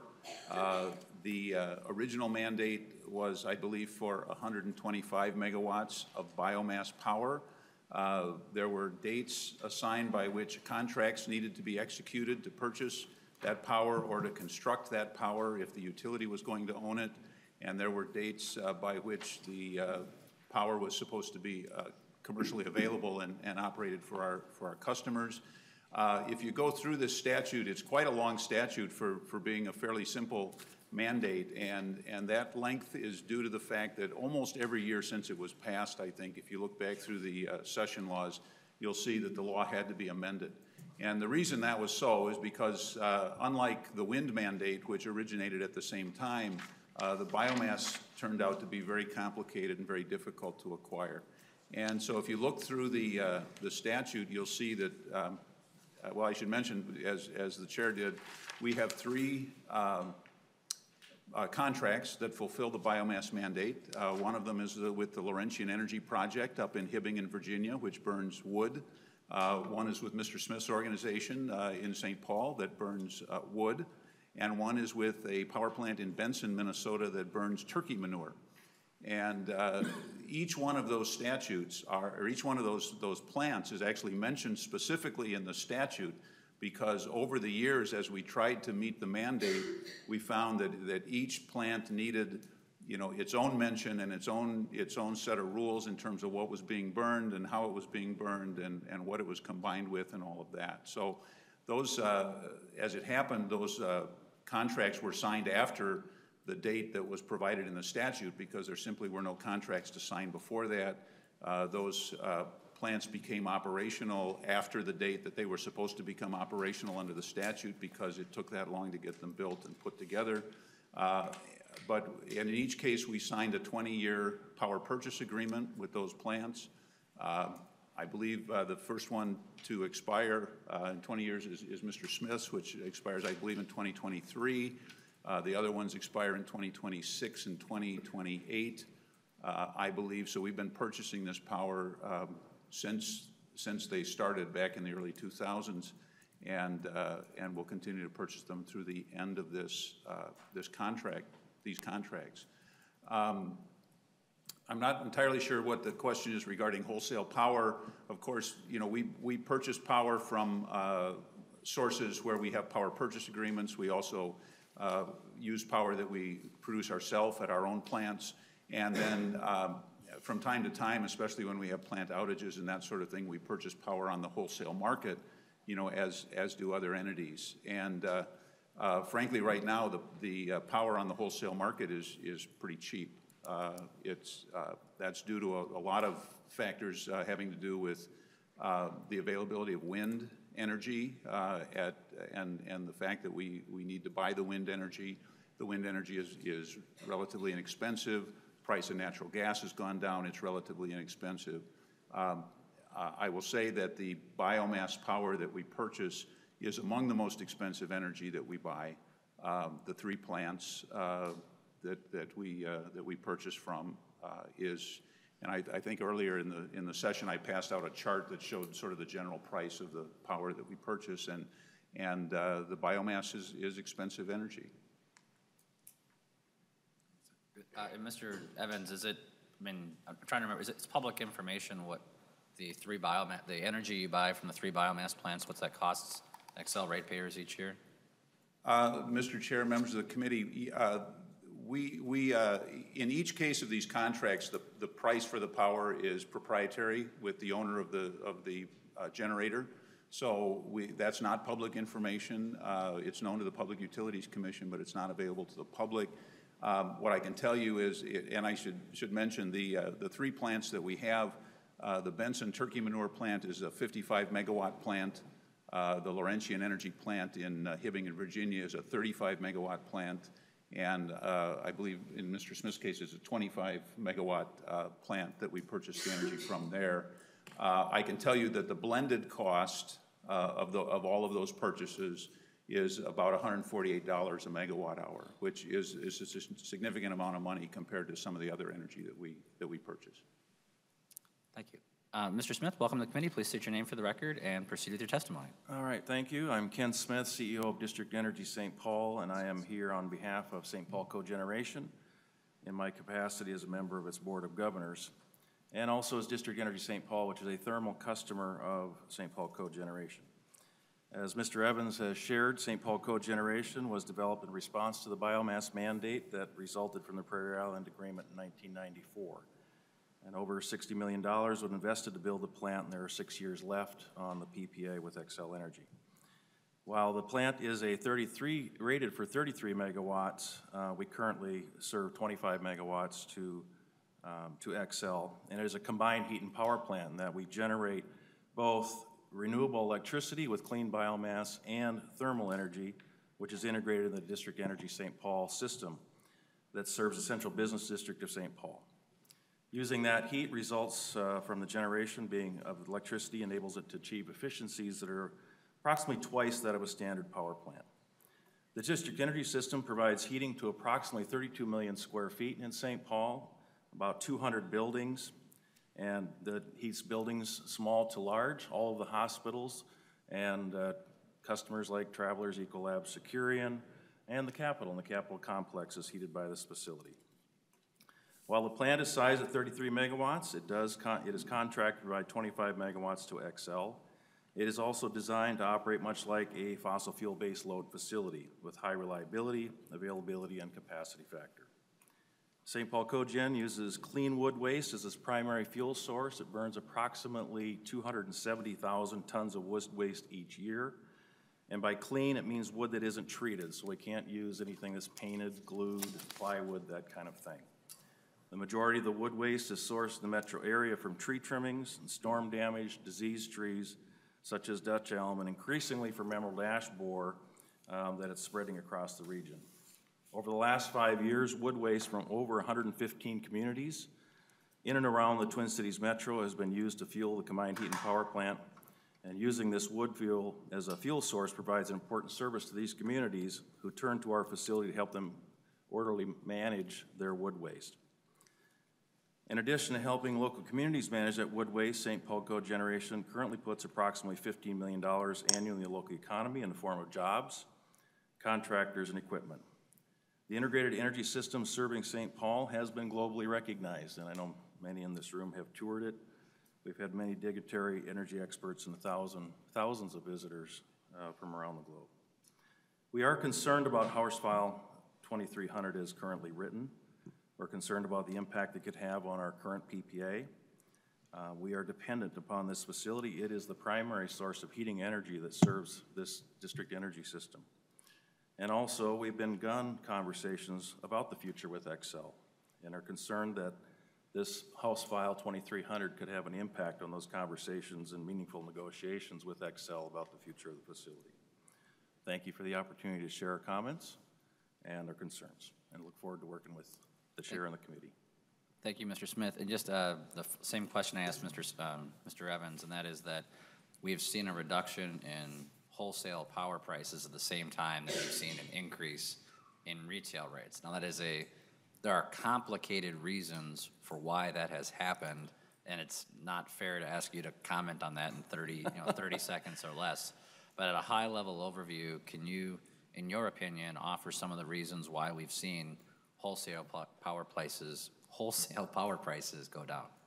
Well, I am not an expert in this area, but I do have some observations, Mr. Chair and committee members. And I think it's really, it's, it's a, a variety of things. I think it's on the supply side, it's on the demand side, and it's on infrastructure. On the demand side, since the Great Recession, demand has been relatively flat, in some cases declining. So as customers were using less, there was some testimony earlier that we're now engaged, customers are engaged in efficiency. They think it's a good idea, that they see saving money. And we're seeing that, uh, and the utilities are experiencing that with, with their demands being flat or declining. Uh, In some ways, we've experienced a decoupling of the energy demand from the economic growth. On the supply side, we've got new generation sources, as Mr. Evans indicated. There's wind coming on, and you have a variety of sources that are competing with existing generation. Wind, for example, competes with base load plants at night when the demand is lower. And I think the third area is infrastructure. We have aging infrastructure that needs to be replaced and need for transmission in order to get renewables to where, where they're generated into the communities. And, and also, we need to modernize our grid infrastructure to accommodate these renewables. So I think all of this contributes to what we're seeing with the lower wholesale prices and increase re- uh, retail prices. But this is not really unique to Minnesota or to MISO. This is something that others are experiencing, not just in the US, but as Mr. Chair and I have, have traveled to Germany, they're experiencing the same thing then. Uh, And again, members, this is just meant to have a conversation about this. Uh, The, I think when we have the METSA bill up, we'll have a more uh, immediate uh, side of things. Is there any other testimony, public, members of the public wish to testify in favor or voice concerns of the bill? Seeing none, we'll go to member comments and questions. Any questions from members of the committee? Mr. Smith and Mr. uh, Evans, thank you very much for your testimony. It is appreciated. And with that, the chair renews his motion to have House File 2300 as amended, laid over for possible inclusion in a later bill. Uh, House File 2052, Representative Schomacker. Or he's actually Representative Schomacker, Representative Thissen. Thanks.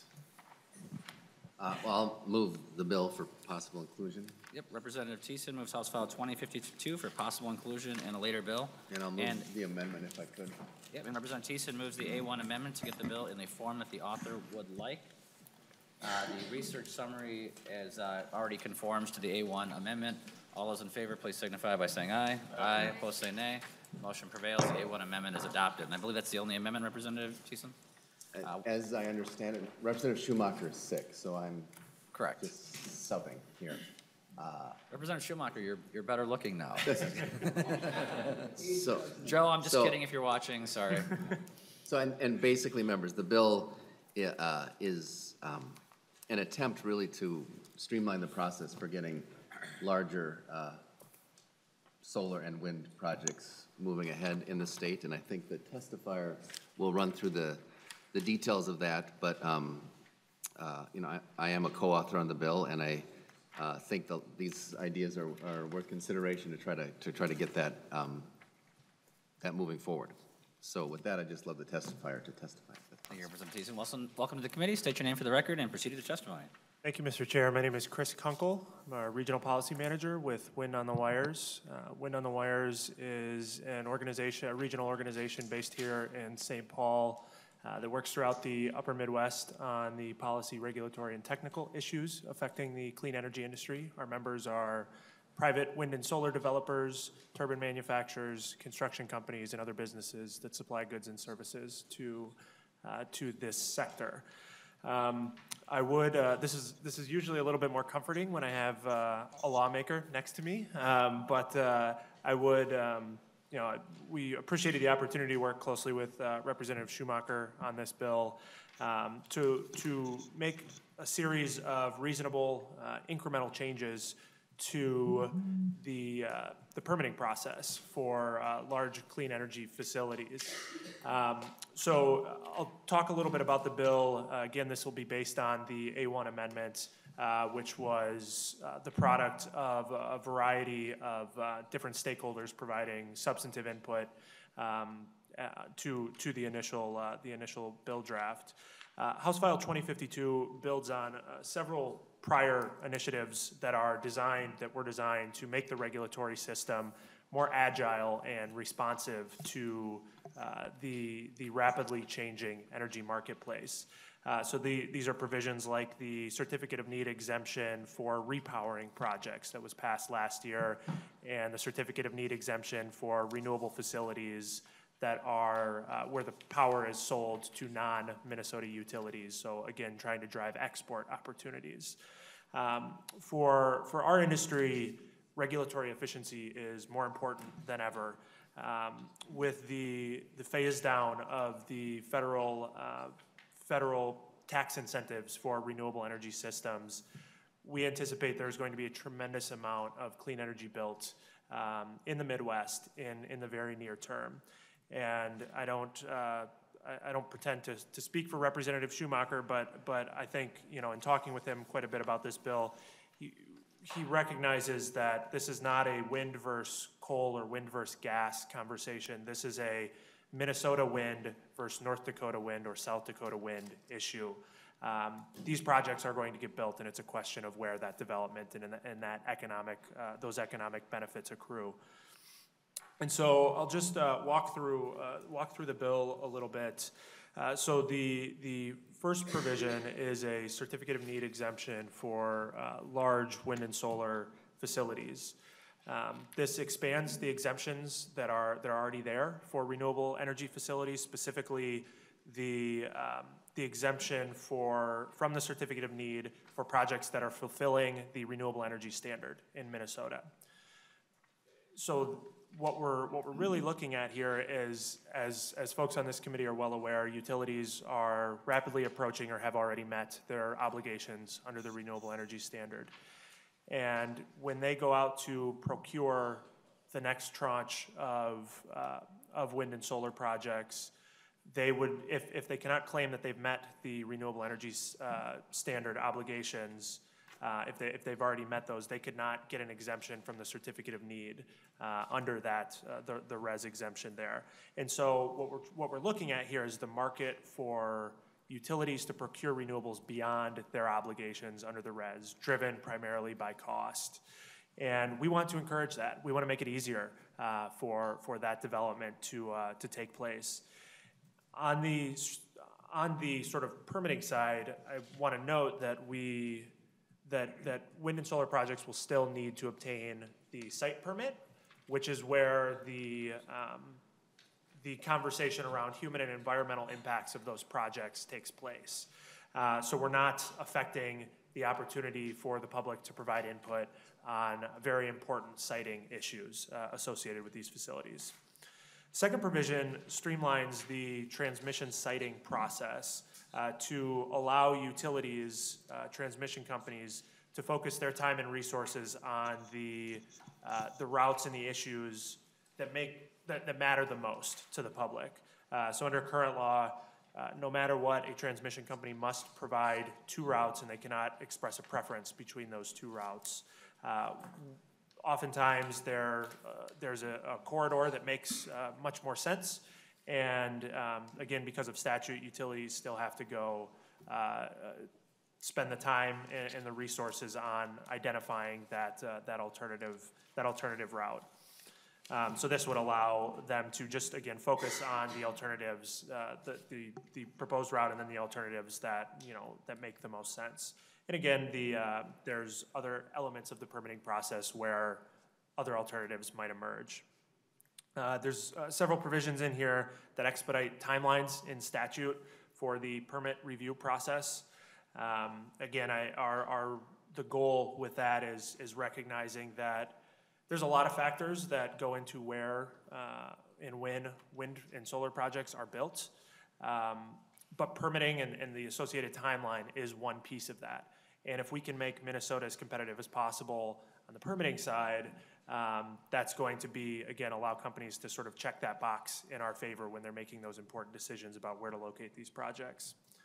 Uh, The, the last provision is a slight modification to the definition of a wind farm to ensure that the transmission line that is directly associated with that wind project, that would not exist were it not for that wind project, be uh, considered at the same time within the site permit, uh, within the same permit uh, as that wind farm. Uh, What we want to avoid here is a situation where the wind farm would need to receive a permit, and then that transmission line would have to receive a separate permit. Again, our goal being, we're trying to streamline the process and make it, uh, make it quicker, take some of the work off of the commission's uh, plate, and, and again, make Minnesota a more appealing place for companies to invest. Um, And so with that, Mr. Chair, I'm happy to answer any questions that members of the committee might have. Um, And I want to thank you again for, uh, for hearing this bill. We'll, uh, as we, is custom in this committee, we'll take all public testimony before moving to questions. Thank you. This is a public hearing. Are there any other members of the public who wish to testify in favor or voice concerns with the bill? Seeing none, we'll close the public comment portion, move to member questions and comments from members of the committee. Well, Representative Thissen, that was a thorough presentation you delivered to the committee. Uh, Representative Mahoney.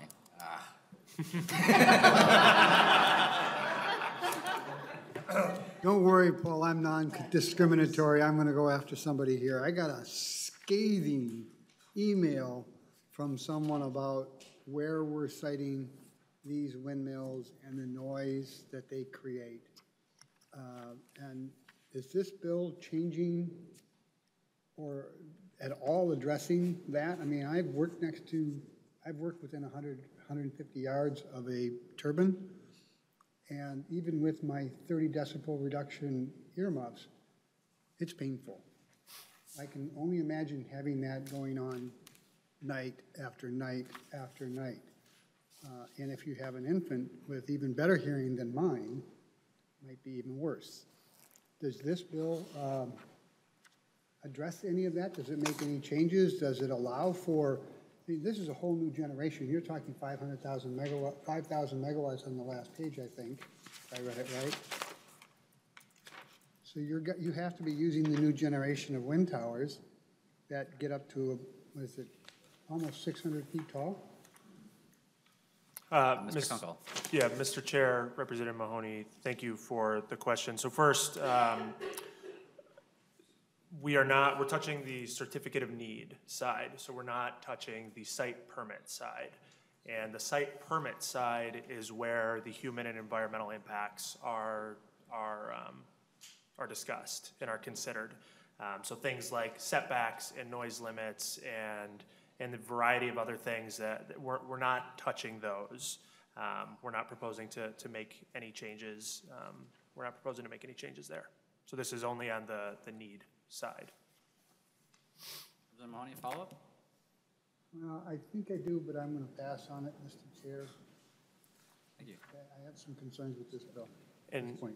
Mr. Chair, Representative Mahoney, I'd be, this is a, there, some of these questions that you had, I mean, these are very broad questions, and I'd love to sit down and, and chat with you. I think, um, the, the sort of bigger picture siting issues are, um, you know, we're very well versed on these and, and are very familiar with what's happening in, in other states and within the industry, and so would love to have a chance to speak with you more about that. Uh, Representative Thissen, any closing comments? Uh, With that, Representative Thissen renews his motion to have House File 2052 as amended laid over for possible inclusion in a later bill. Thank you, Mr. Kunkel. Thank you, Representative Thissen. I'm sure Representative Schomacker appreciates it as well.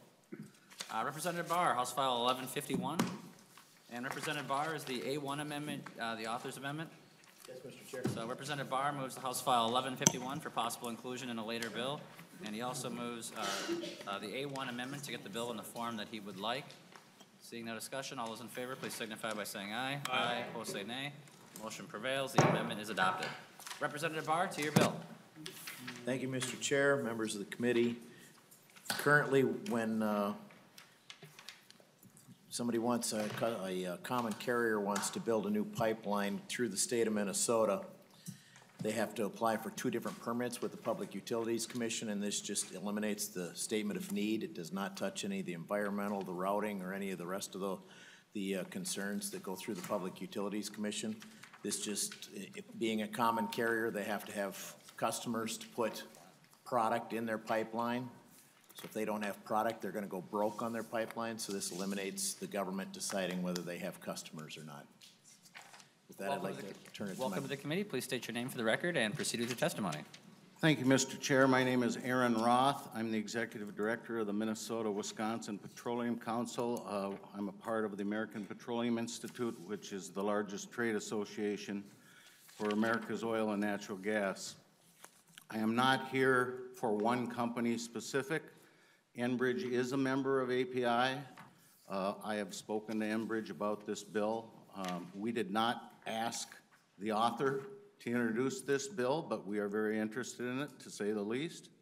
Enbridge is neutral on the bill and, and would like to continue to work uh, with, with uh, the author and, and, and you, Mr. Chair. Uh, we are, as Representative Bahr, uh, interstate pipeline operators that only, uh, that run through the state uh, in terms of oil and natural gas. Uh, We are not a regulated utility like a Minnesota Power or an Xcel. We are regulated federally by the U.S. De- Department of Transportation uh, through their uh, Pipeline Hazardous Material uh, Safety Administration.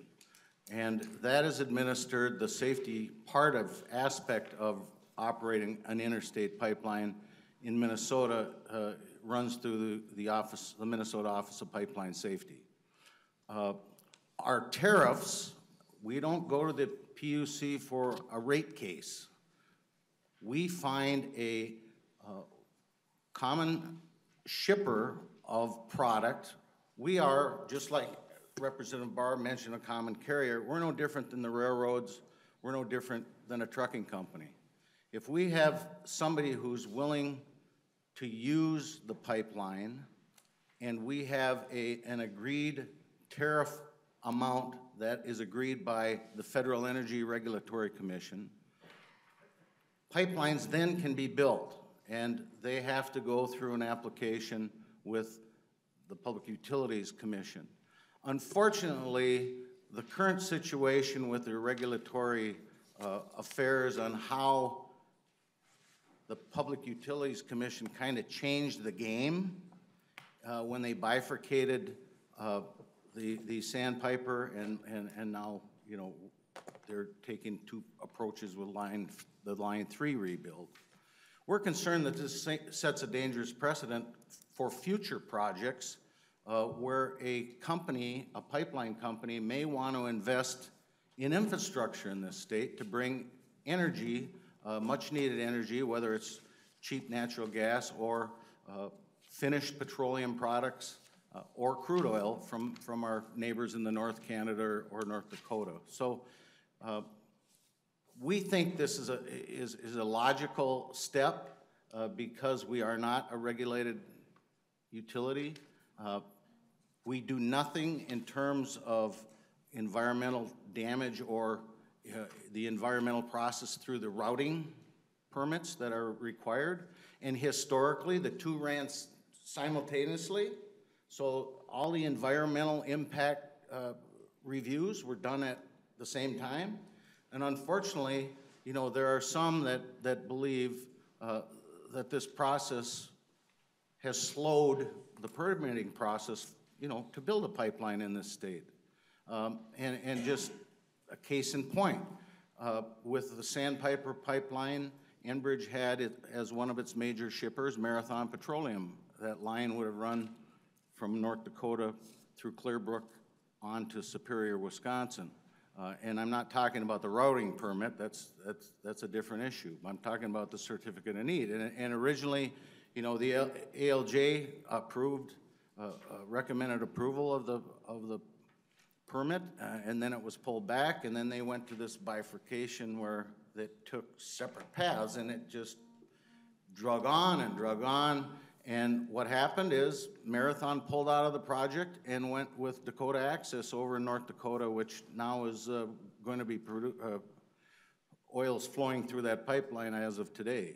So I just think uh, it's something that this committee should take a strong look at uh, uh, uh, because uh, these projects are in the best interest of our energy security in this country and in Minnesota.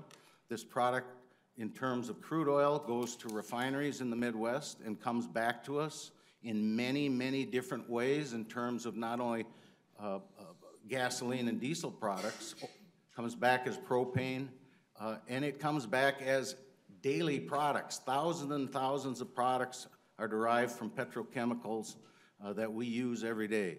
So uh, with that, I'll conclude my testimony and stand for any questions. Thank you.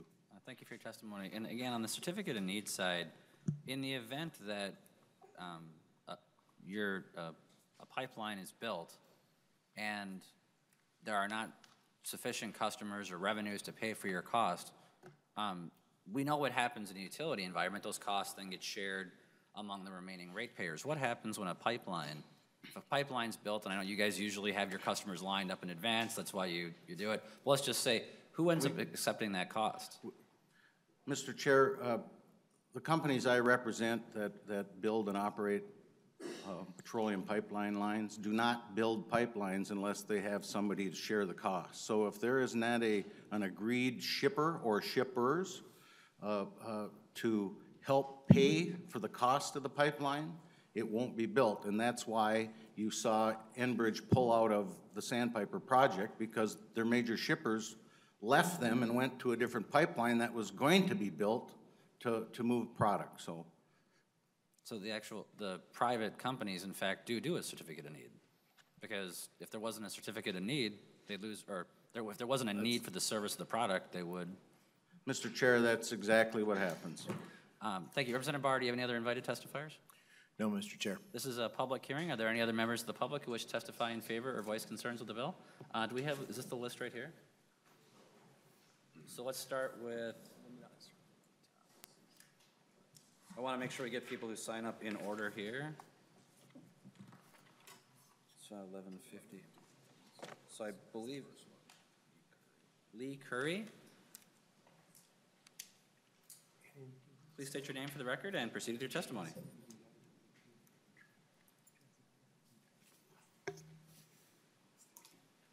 Thank you, Chair Garofalo, members of the committee. My name is Leigh Currie. I'm the Energy Director and Staff Attorney with the Minnesota Center for Environmental Advocacy.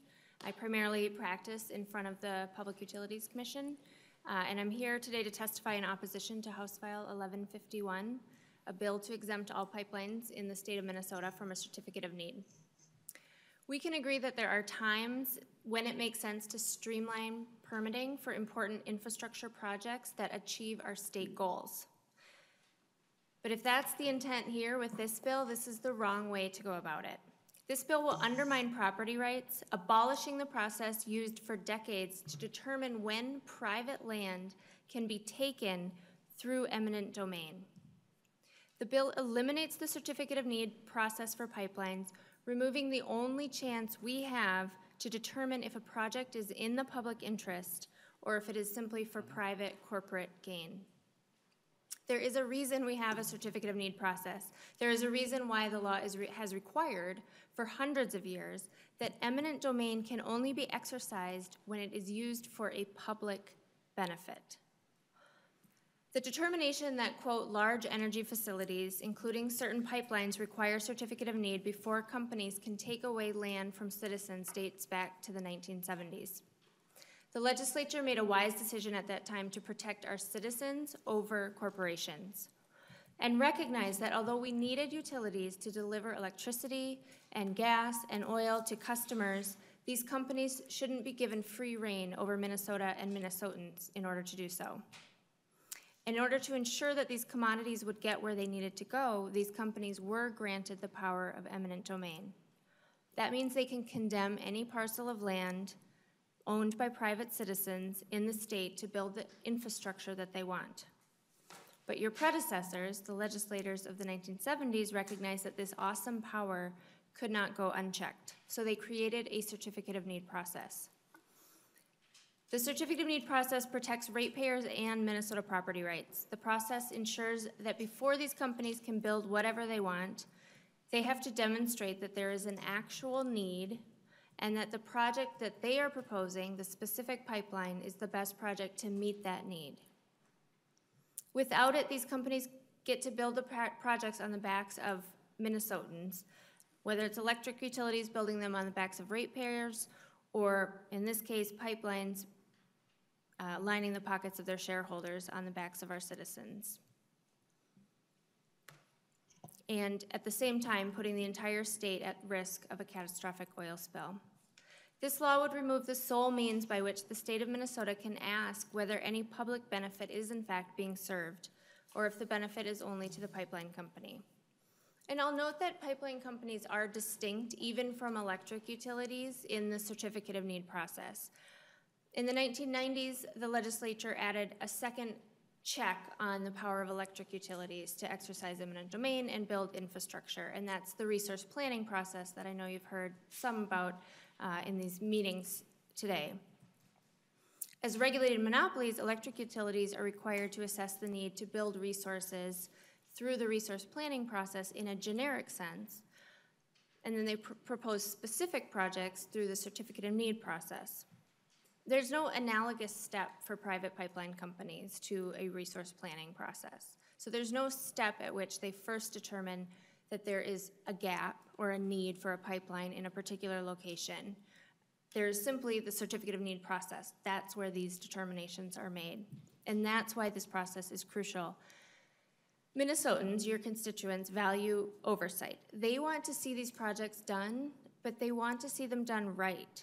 They want to ensure that pipelines are built safely, that companies are committed to the integrity of the project, that they're willing to be on the hook in the aftermath of an oil spill.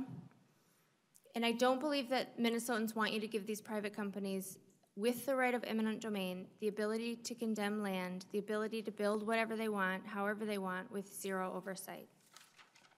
That's what the certificate of need process does. The route permit process doesn't address this cost benefit balance to determine whether it's in the public need or just for private gain. The route permit process is about within a specified corridor, you know, do we go north, do we go south? How, where should we put the pipeline in the best spot? It's a different permitting process.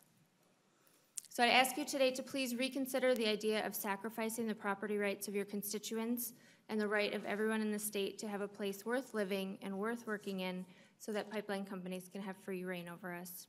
I urge you to vote no on this, no on this bill. Thank you for your time, and I'm happy to answer questions. Thank you. And to the testifier, we are not voting on this bill tonight. We're laying it over for possible inclusion. Thank you. Thank Uh, you, Mr. Chair. Grant? Is the next testifier, and after that is Aaron Roth. Is Aaron here? Oh, I'm sorry. Mr. Roth, I'll just tell you, if, if we fact check all the testimony we're gonna get tonight, we're never gonna leave. Just, I, I am totally aware that we are reaching a Trumpian level of factual inaccuracy this evening, okay? So, uh, I'm not, I'm not, I'm not gonna take the opportunity to rebut every testifier. Everyone can have their, their voices heard. Uh, clearly, the Sandpiper Pipeline project, there are facts that we can examine and look at. We are not gonna go into that tonight. I would be, I would love so much to have that debate, but we're not gonna do it tonight. Representative Mahoney. It's probably not the most appropriate behavior for a chair to call one of our um, testifiers, I'm, I'm going to be kind, um, inaccurate because I think your, the impression that you left was a little bit more than inaccurate, so just, I understand that it's getting late. We will all get through this, but you should uh, not impugn the uh, um, validity of a, uh, of one of our testifiers' comments. They- We have many offices, we can all meet with anybody when they want to tell us they're wrong or they're right. Thank you, Representative Mahoney. I appreciate the feedback. Commissioner Grant. Thank you, Mr. Chairman. Again, Bill Grant for the Department of Commerce. House File 1151 exempts companies wanting to construct large crude oil and natural gas pipelines in Minnesota from having to obtain a certificate of need. The certificate of need process is designed to assure that large energy facilities serving the state are needed and rationally planned to avoid unnecessary redundancy. Failure to conduct need investigations could lead to costly duplicative facilities, putting Minnesota landowners, businesses, and residents at higher risk. In this case, those risks include risks of accidental releases of, or explosions of toxic and combustible materials from pipeline failures or hostile actions. Department opposes House File 1151. Thank you. Mr. Commissioner- Chair, just a brief Representative question. May Representative I ask Thissen. him just a brief question? You may, of course, Representative Thissen. Thank you, Mr. Chair. I'm just wondering, in light of that testimony, why the governor signed the Becker bill?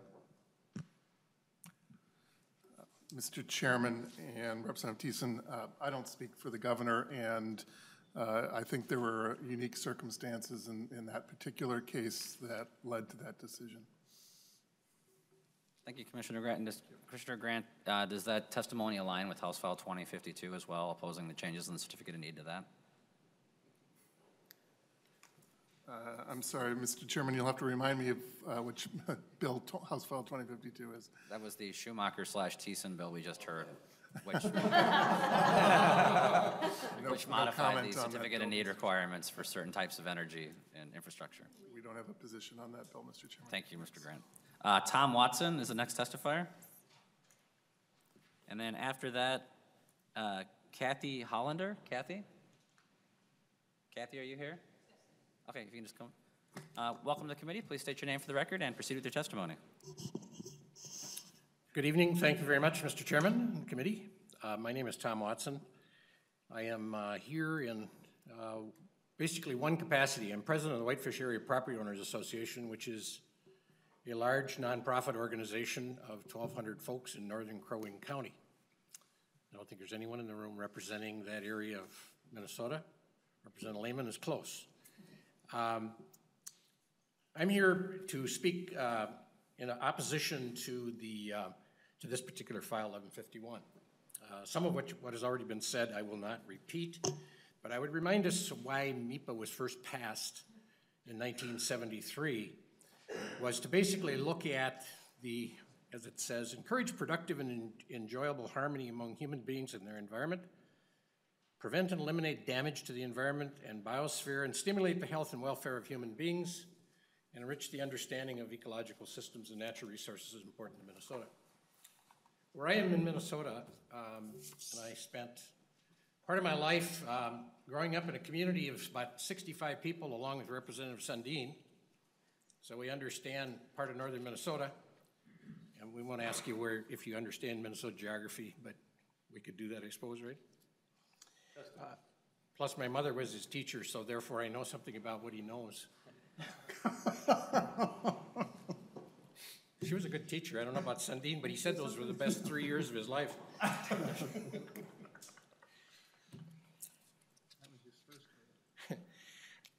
That legislation in 1973 introduced us to the environmental impact statement uh, legislation. And that was put in place, obviously, for a very significant reason. I would remind you, with respect to pipeline, pipeline activity, um, Friends of Headwaters initiated a case along with Minnesota Center for Environmental Advocacy that essentially got to the Court of Appeals uh, and reversed the decision of the Public Utilities Commission uh, to consider the fact that an EIS must be completed on these matters before a consideration of a certificate of need is, is completed.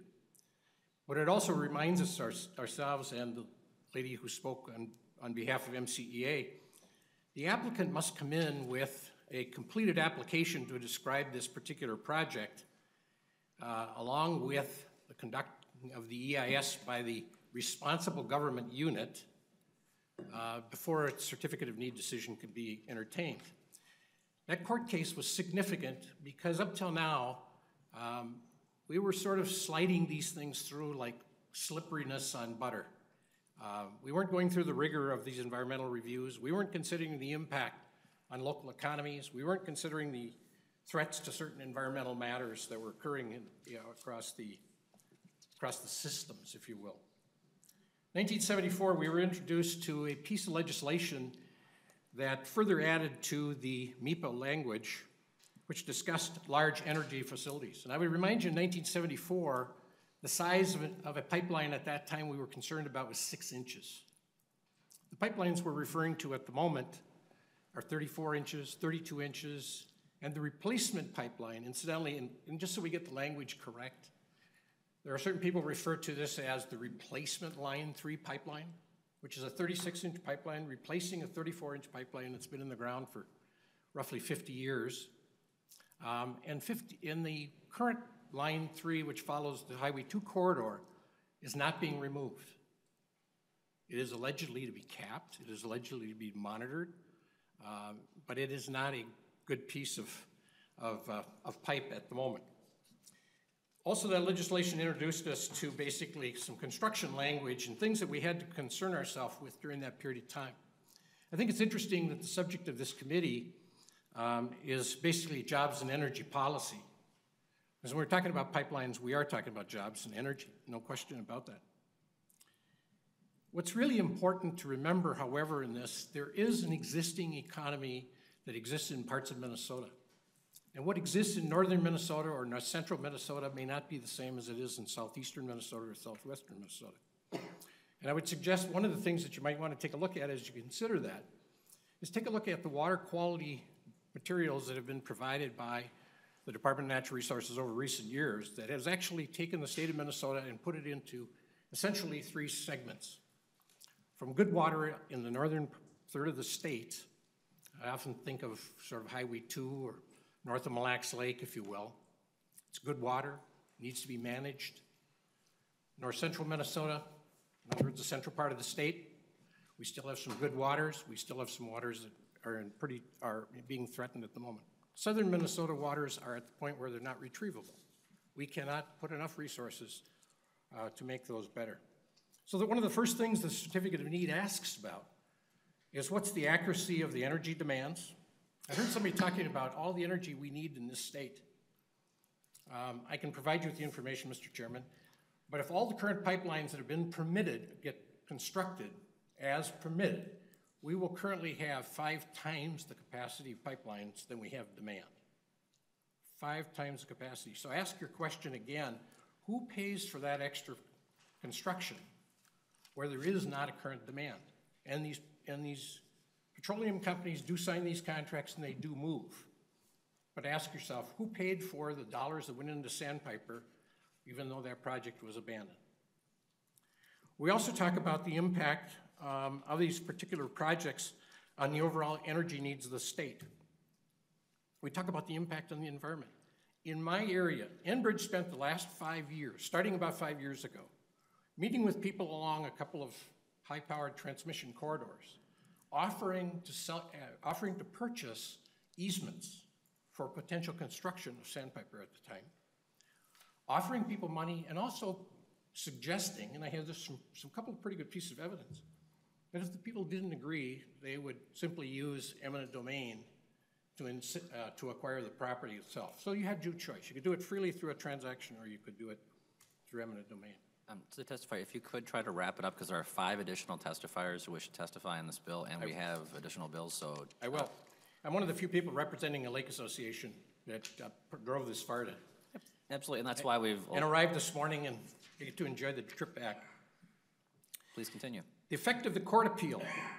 Um, Judge Klaphake said something really significant in that particular case, and I just want to read that to you because it's really significant to this need to maintain a certificate of need. Because the decision to grant a certificate of need, and I quote, for a large oil pipeline constitutes a major governmental action and has the potential to cause significant environmental effects. We conclude that MEPA requires an environmental impact statement to be completed before a final decision to grant or deny a certificate of need. That was part of his particular decision. Why also is certificate need important? Well, when I look around and who was around this morning and, and I came to your meeting at 10 o'clock, there weren't a lot of people that had driven three and four and five hours to get here just to testify. The importance of the certificate need process includes the possibility that that particular application gets to be conducted in a public hearing and provide some input to local folks.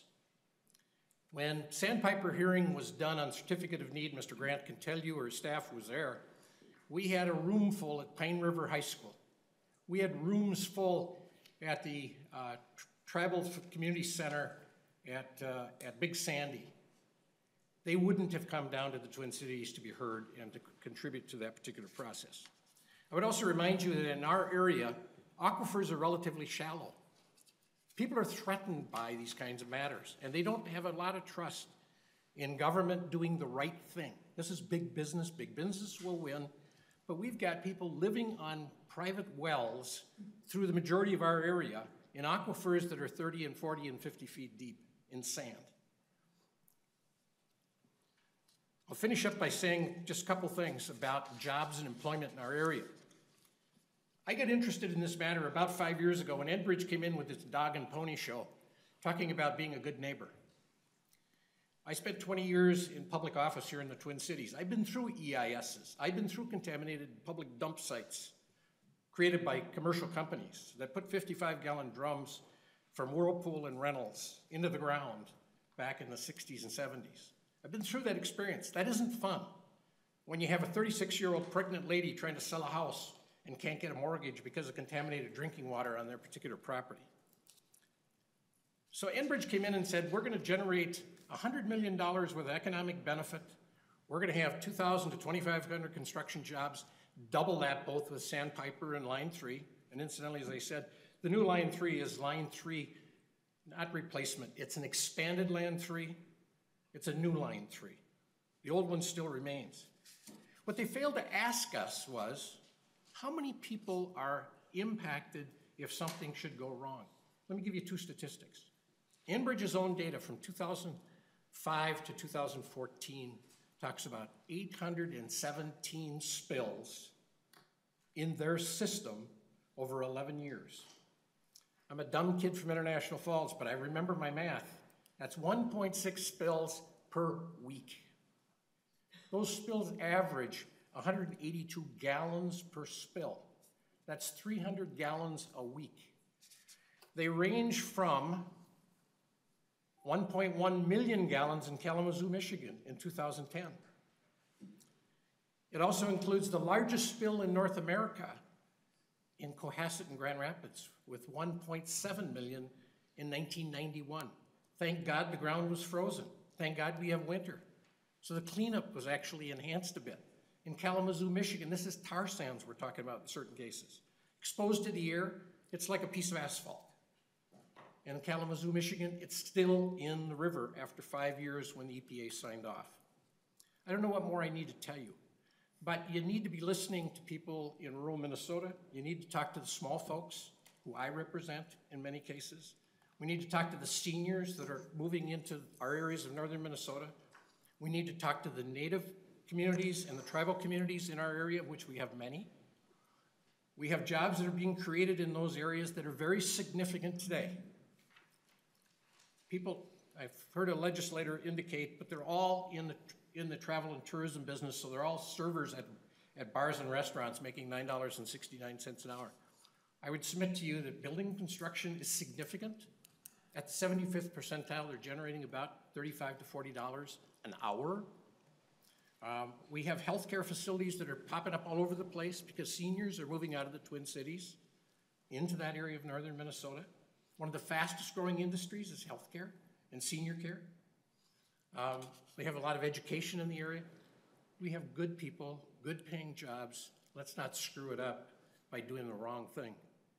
Passing this legislation would be absolutely wrong. Mr. Chairman, if I could, I'd like to read a statement from Richard Smith, who can't be here. He was here this morning. Uh, What we'll do is you can provide to the committee page, we'll make copies of it, and we'll distribute it to the I members. just have two paragraphs. That's fine, we'll make copies of it and distribute it to the members of the committee. Thank Thank you you. very much for your testimony.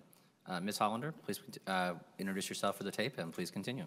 Kathy Hollander. I'm a full-time volunteer with Minnesota 350. It's a state chapter of a worldwide organization dedicating to building a movement to raise awareness of climate change. I've been a full-time volunteer for four years. Last year, mm-hmm. I stood, I- I waited on your committee, and I was one of the last testifiers for this same bill last year. I waited all day. Repeat today. Anyway, I speak to the need to keep an oversight process over the pipeline industry with meaningful public engagement, a check and balance system, kind of like our founding fathers planned when they planned our democracy. Pipeline companies are granted the power of eminent domain. We've already heard about that. So the public has a right to expect this awesome power, almost universally reserved for the government, in itself serves the greater public good. The Public Utilities Commission Certificate of Need process starts with required notification to all persons likely to be affected by the pipeline. While a potential landowner may have been approached by the company, what about the next-door neighbor down the road? Doesn't that person to be notified, deserve to be notified as well? What about tribal notification and a nation-to-nation consultation? Public notice seems like a good thing to me and not something we would want to throw away that this bill might do. Then the applicant files for an application for a certificate of need. How many of you have read one? I have, cover to cover, and I found an error in it, a pretty significant error in it. That's an example of how public input improved the process. When Enbridge found out about my error, they changed that application, or they changed it. The certificate of need provides some check on the need for new pipelines. Pipeline companies are motivated to build new infrastructure because once they're in place, they are guaranteed a rate of return by FERC, this Federal Energy Regulatory Commission. Shippers pay for the line whether or not the pipeline is full. Once the line is in operation, the cost is ultimately passed on to consumers. This could lead to habitual overbuilding of pipelines. While the rest of my comments pertain to crude oil pipelines, because that's where I've spent my years learning about. The certificate of need does evaluate how the proposed project fits into the state and the region's overall energy needs. That's important because in Minnesota, for demand for refined products has dropped 19 percent 2004 to 2015. Demand for refined products is also down in the Midwest region and in the U.S. overall since 2007. Both the 2015 and the 2016 Annual Energy Outlook of the U.S. Energy Administration projects that U.S. consumption of petroleum products will remain essentially unchanged from 2013 through 2040. So it's important for Minnesotans to evaluate new pipelines in the context of need. If you eliminate their certificate of need, no agency will be looking at how the next pipeline fits into Minnesota's overall energy needs. The certificate of need process also holds the applicant accountable to the consumer by double checking the accuracy of the applicant's energy forecast. The market for oil has drastically dropped in Minnesota and flattened worldwide in the last years. There's a worldwide glut of oil, and inventory levels are at an all time high. Supply has exceeded demand for years, and prices have plunged as a result. In this market, our Canadian friends are still asking us to help get some product to market. But the market is winnowing out the most capital intensive oil field projects, and overbuild pipelines for those areas may become stranded assets that consumer, consumers will pay for. Since 2014 in Alberta, Canada, for example, we've seen 64 projects canceled or delayed. ExxonMobil just announced that between 3.6 million acres of tar sands will be stranded assets on their books if the price of oil does not stay above $60 a barrel. ConocoPhillips, Royal Dutch Shell also are talking about assets off their books as well. Royal Dutch Shell just sold a bunch. This is a good time to scrutinize the applicant's energy forecast, but with this bill, Minnesota would lose that oversight also. The certificate of need process also looks at whether the applicants or another proposed pipeline company can supply the need for the transportation of oil. Pipeline companies have excess capacity on their pipelines right now, and three more pipelines are being proposed out of Canada. Again, if pipelines are overbuilt, the companies can recover their costs and the consumer ultimately pays at the pump. And then there's the issue of abandonment. The certificate of need process is where this issue should be vetted and thoroughly discussed. Landowners and tribes should be given the option of whether or not they want the pipe removed. I just spoke to a landowner who told me that the pipeline company was planning on filling the old pipe, scheduled to be abandoned, with concrete. The easement on the land where the pipelines are placed reverts back to the landowners after five years of abandonment, while the pipe and the pipe contents remain with the company. Can you imagine having a huge pipeline of concrete just under the surface at your property? Water flow can be blocked, trees can die due to standing water, roads flood in spring that didn't flood before the pipelines were there. These are all irritants left behind with these pipeline projects when they pull, when they abandon one. This is the kind of detail that comes up in the certificate of need. And Representative Garofalo, I've heard you ask testifiers whether they would rather have oil moved by rail. To me, that assumes in this low-priced environment that shippers can afford to use rail. If they're shipping by rail instead of using available pipeline capacity, then something else is happening. Either they are a refinery that's not served by a, a pipeline, or they are shipping heavy tar sands the, to use to be made in the, for asphalt or roofing, for example. And data suggests that at least 50% of the oil coming down from Canada by rail is essentially tar. Heavy oil from Canada to be used in asphalt. This is not flammable like North Dakota oil. I rest my case. The certificate of need for process for pipelines has important protections for consumers in Minnesota and should be left in place and actually made stronger. Thank you for allowing me to testify. Thank you. Uh, Brent Mercia and Jean Ross. And then uh, Irene Folstrom. Irene, are you here? Okay, so you'll be next. And then are there any other testifiers besides those three?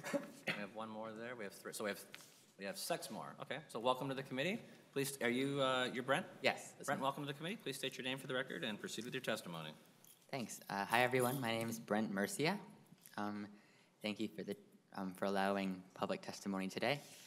Um, so I am sort of here, sort of to talk about my my experiences with water and why I think the, these kinds of protections are so important. So I am Latino. My dad is an immigrant from Colombia in South America.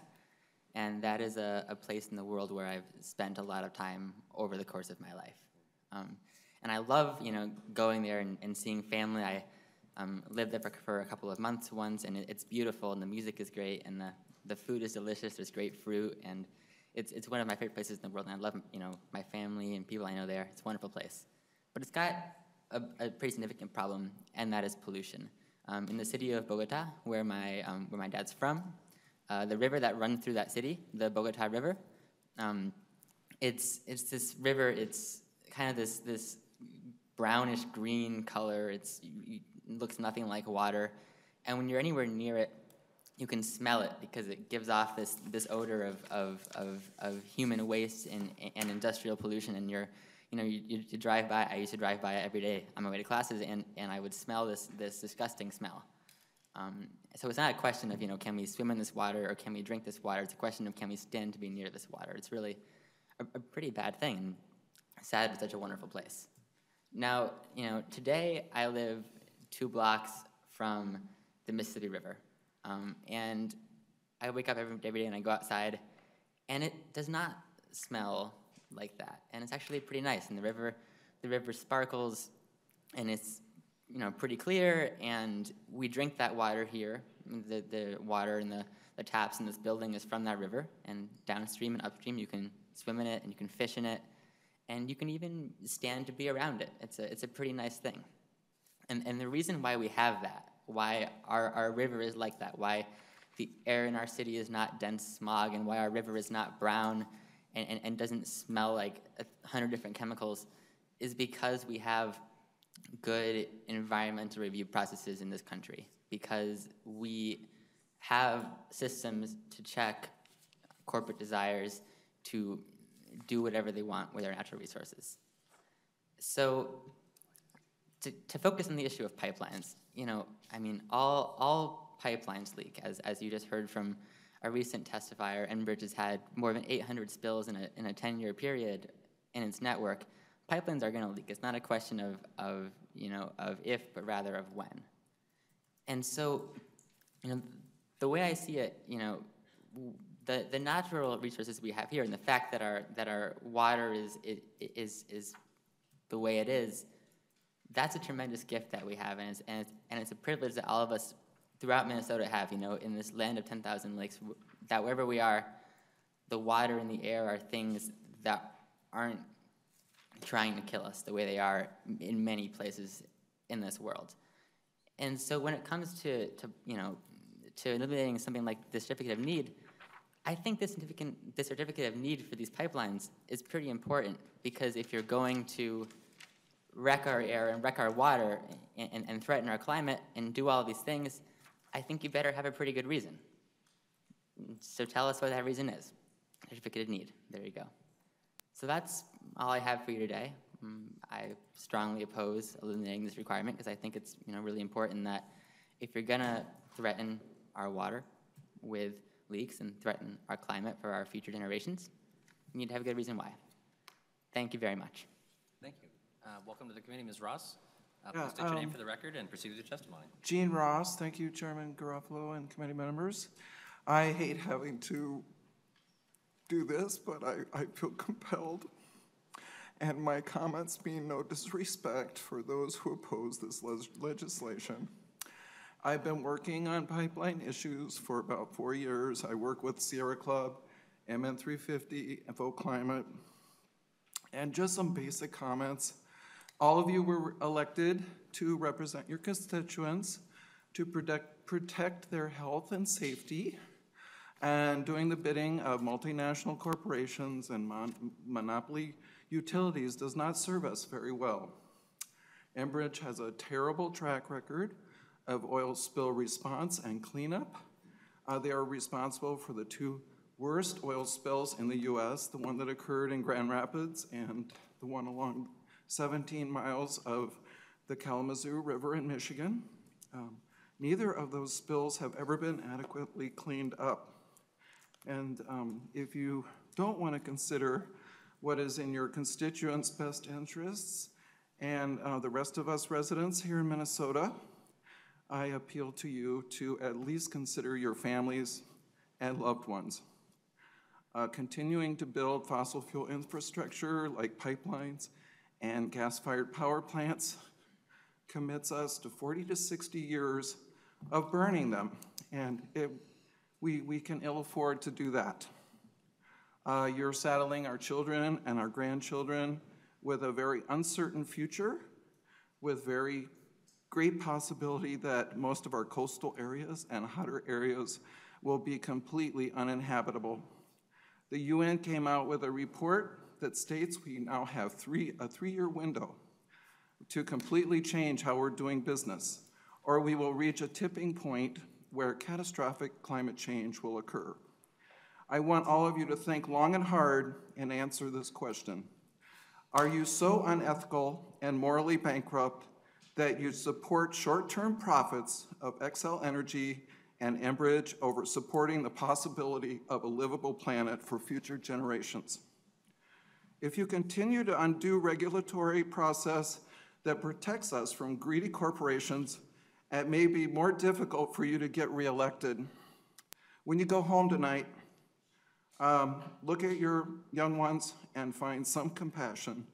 Please start working toward enacting laws and improving regulations that help ensure our future, not continue to tear them down. Thank you very much. Uh, Phil Murray. Uh, Phil Murray, and then uh, Irene Fulstrom. Irene, are you here? Yeah, go ahead and you can go up there, so. Welcome to the committee. Thank you, uh, Chairman Garofalo and uh, members of the committee. I'm actually here uh, to read a letter from a gentleman from Detroit Lakes that was uh, unable to make it here because of medical reasons.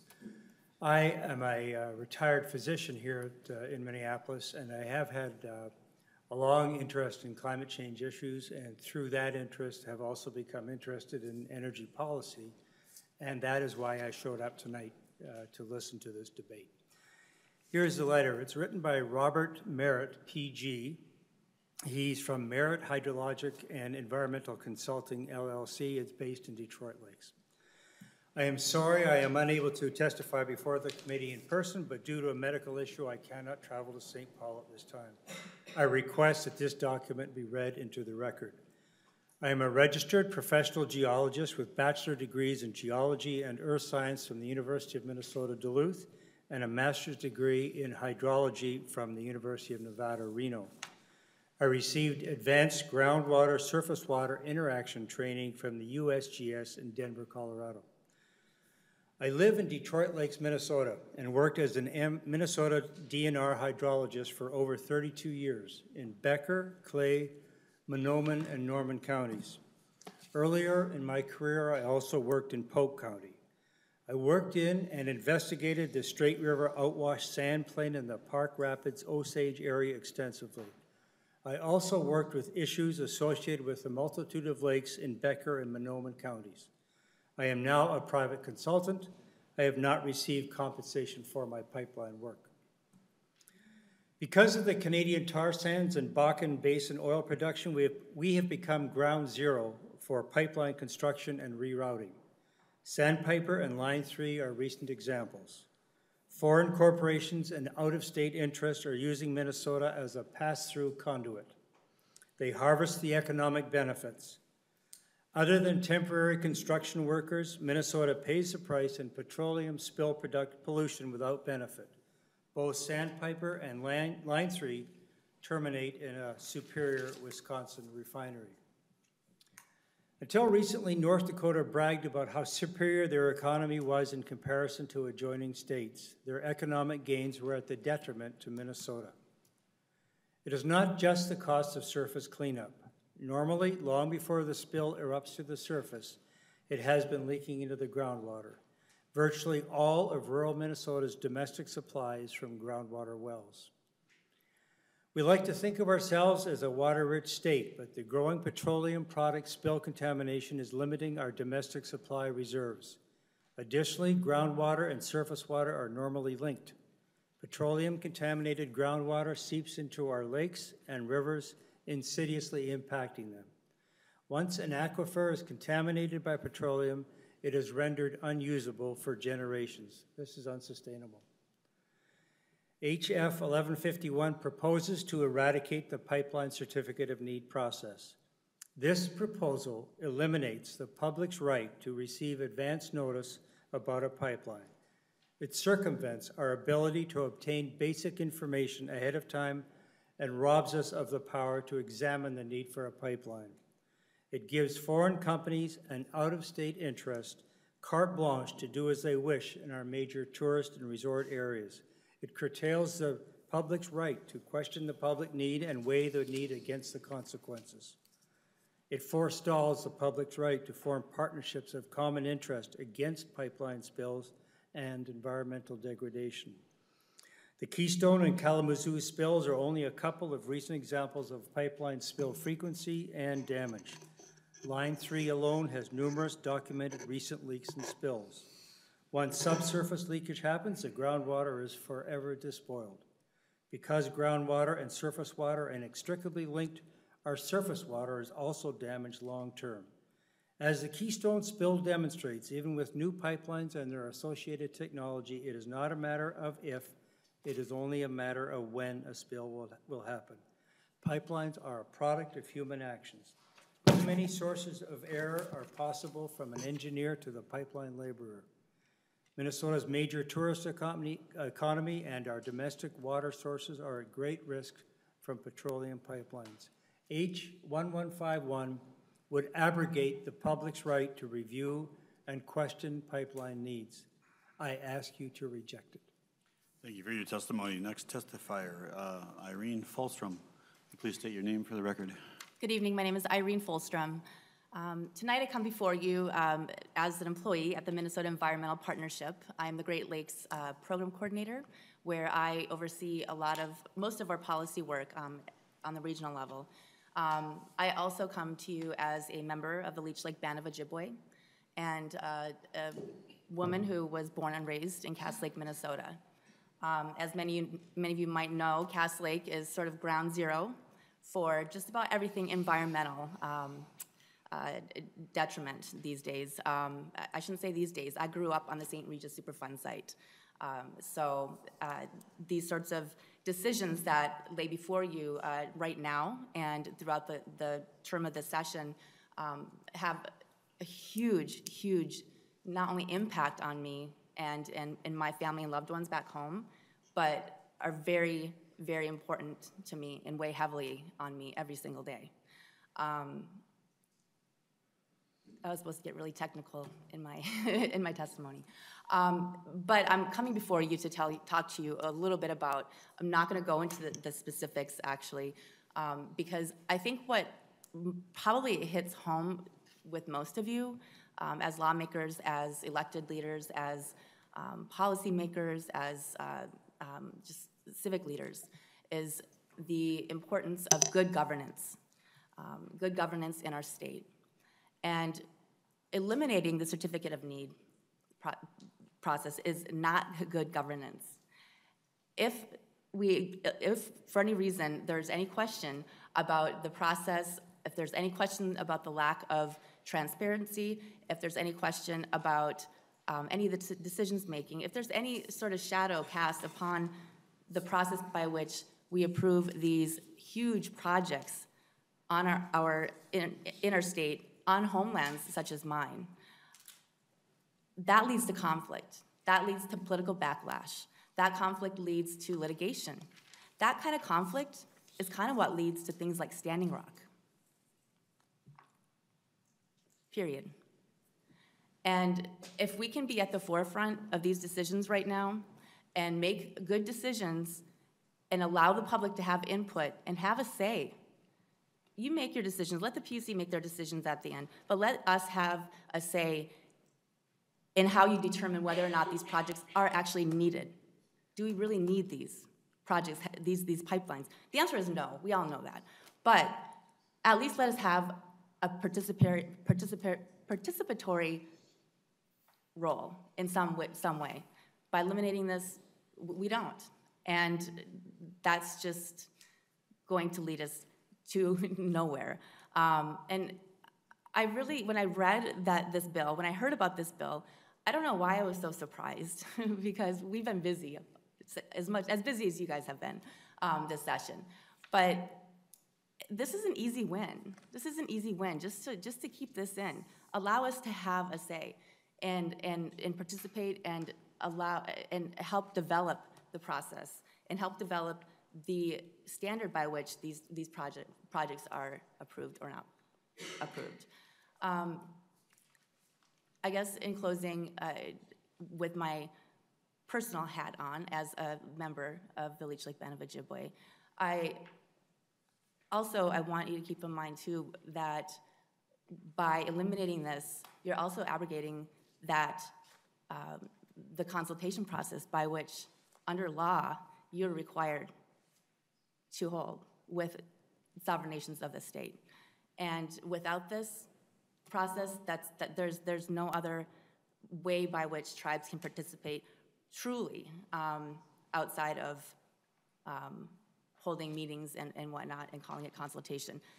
By keeping the certificate of need, you're kind of covered with that.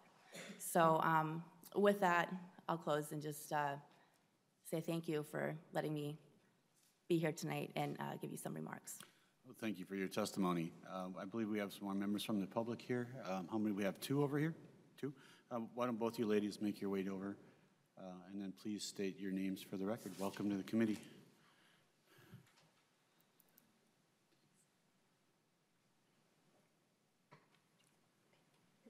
Uh, Who drove the farthest?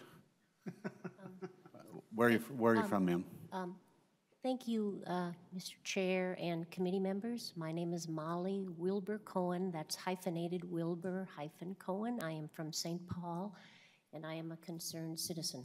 Oh, thank you. And I am here to testify against House File 1151. Uh, The importance of the certificate of need process, including the opportunity for environmental review and public engagement, cannot be underestimated. I will mention um, the Sandpiper Minnesota Court of Appeals, which has already been alluded to a couple of times. But what was very important there in September of 2015 at the hearing was that the environmental impact statement early in the process gives an opportunity for decision makers and stakeholders to be aware of the environmental consequences of the oil pipeline before deciding if there is a need. So completion of an EIS, Environmental Impact Statement, as the first stage of a certificate of need is critical. Once a need is determined, the focus then turns to where the pipeline route should go, as opposed to whether it should be built. Once the certificate of need application is submitted to the Public Utilities Commission, there is a request for agencies and the public to comment and an opportunity for public meetings. Again, this is an opportunity for public engagement. the Public Utilities Commission must evaluate the certificate of need by assessing if the long-range energy demand is viable, the effect of possible energy conservation programs, benefits of the pipeline, whether it increases reliability of energy supply in Minnesota, or possible alternatives for satisfying energy demand. An important uh, fact relating to the certificate of need is pipeline regulation. There is no central permitting authority for oil uh, for interstate oil pipelines. Thus, each agency approves a portion of the project. Um, interstate pipelines are not subject to the Federal Energy Regulatory Commission. um, pipeline inspection agencies are typically understaffed and have insufficient training. Uh, going back to the point that there is no regulation of interstate pipelines, uh, this means environmental reviews are up to the states. Um, an article in EcoWatch I was just reading said, and this was in October of 2016, that there already were 220 spills in um, the United States. So I am again saying this, this bill um, is similar in the point that uh, this disallows environmental, uh, environmental review, and I, I take, um, I disagree with the, the authors, the author of this bill saying that um, the pipeline routing is, is going to be sufficient for the environmental review because there is not the environmental process in the pipeline routing. And um, so I uh, thank you for this opportunity to testify.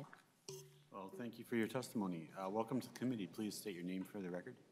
Hi, my name is Patty O'Keefe. Um, I am from the cities. I um, work at Minnesota 350, uh, which was uh, stated earlier is an organization that is working to build um, a climate movement in Minnesota. Um, and I wanted to speak in opposition to HF 1151, um, and I'll start by giving my explanation for why, um, why I think certificate of need processes are important um,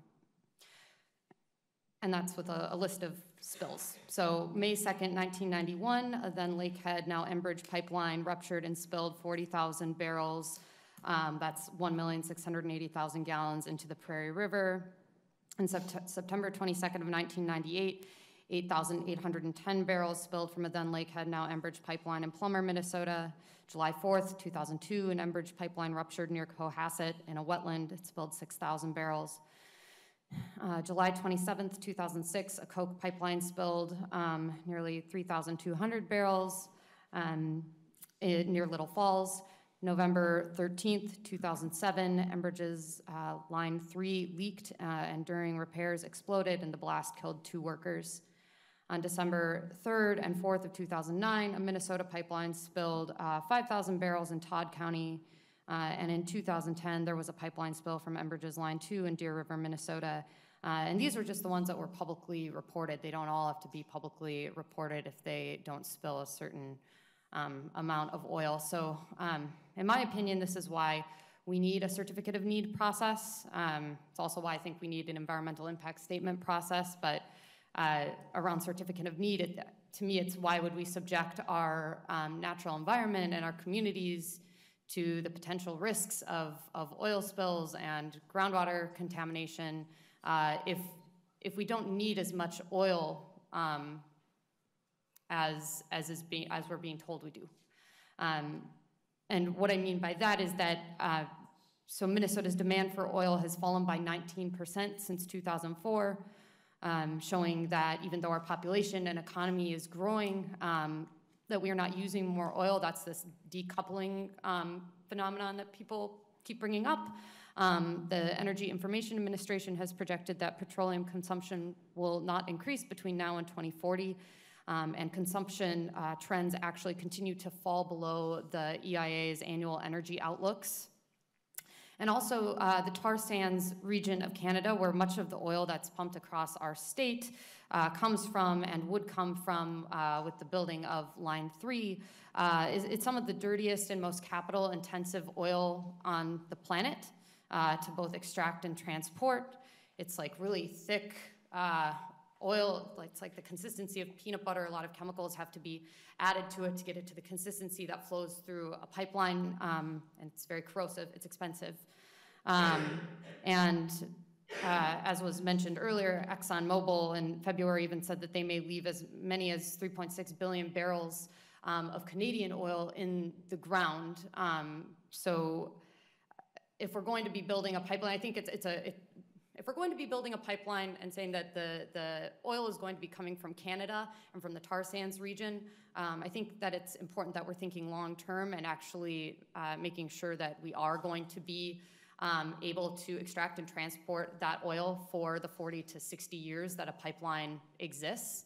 I don't agree with, and I hope that we don't um, extract and transport oil in the uh, capacity that we are now for 40 to 60 years because I believe that's locking us into a future um, that we can't survive.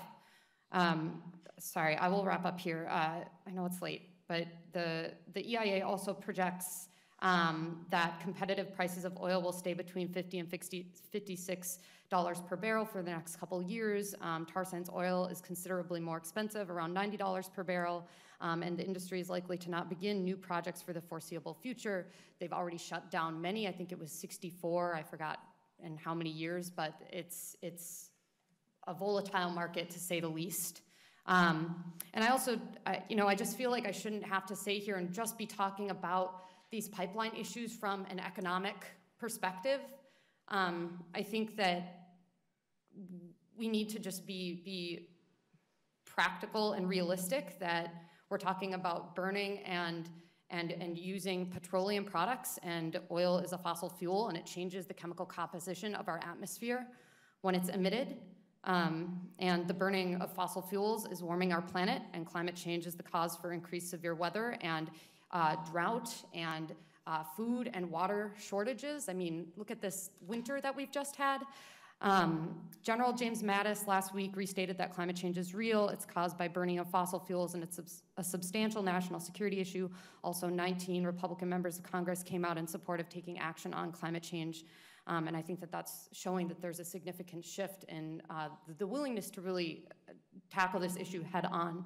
Um, so, so in closing, I'll just say that the, the average lifetime of an oil pipeline is between 40 and 60 years. Our energy system is transitioning rapidly. Prices for battery storage are coming down. Prices of renewables are rapidly decreasing. Um, and to, and to institute a policy that would expedite pipeline approvals in this area, in this era, sorry, of a rapidly changing energy system, I think would be fiscally and socially irresponsible. Um, and also, the certificate of need process allows for more public input um, that's not just about routing or siting with the assumption that the pipeline is going to go through, but asking the questions around do we need it in, in the first place? And I think that um, in this day and age, those are viable uh, questions that we should be asking. Thank you. Thank you for your testimony. Are there any other members from the public who would like to testify uh, for or against this bill? Seeing none, we will close the public testimony period and we will open to member questions. Uh, Members, Representative uh, Dabney. Thank you, Mr. Chair. And uh, is the testifier from MCEA still in the room? Could she come forward, please?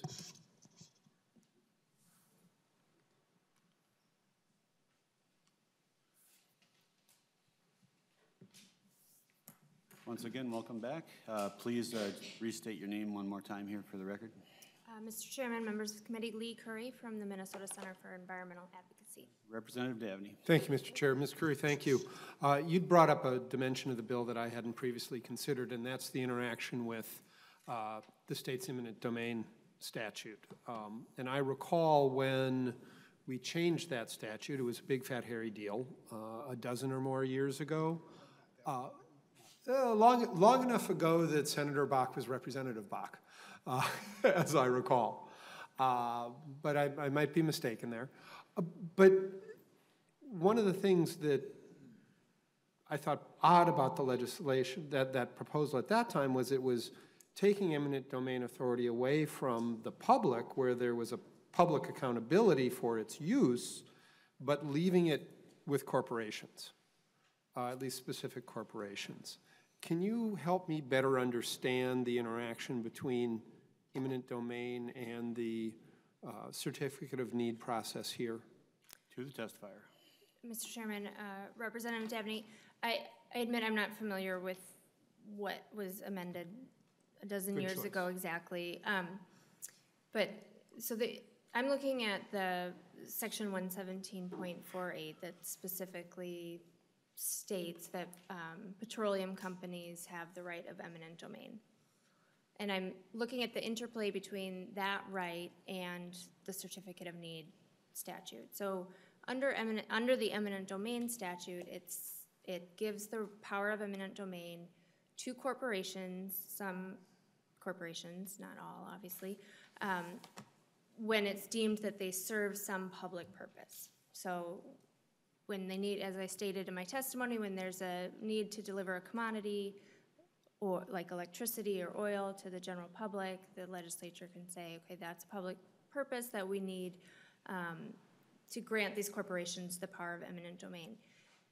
The certificate of need statute is where the specific project is, is examined by the regulatory authority to determine if that project is, is in the state's interest. So it, there's 12 statutory factors in, in 216B.243 where you, you look at the energy demand forecast. Is this, I mean, the, the bottom line is it, what it looks at is, is this needed?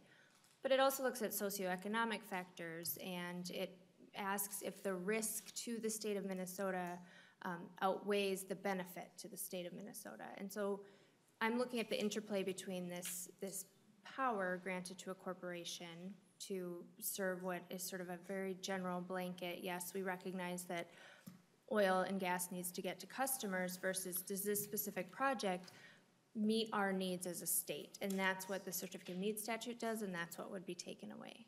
Does that answer your your question? Representative Dabney. Thank you, Mr. Chair. Yes, I- I'm, so is it fair to say, Ms. Currie, that this is where, that the certificate, certificate of need process is where we as a state determine whether the pipeline not only has benefits to the entities involved, but has uh, ba- balan- attempt to balance out the, the broader public's en- uh, interest because there's potential downside as well to the public for the construction of a pipeline.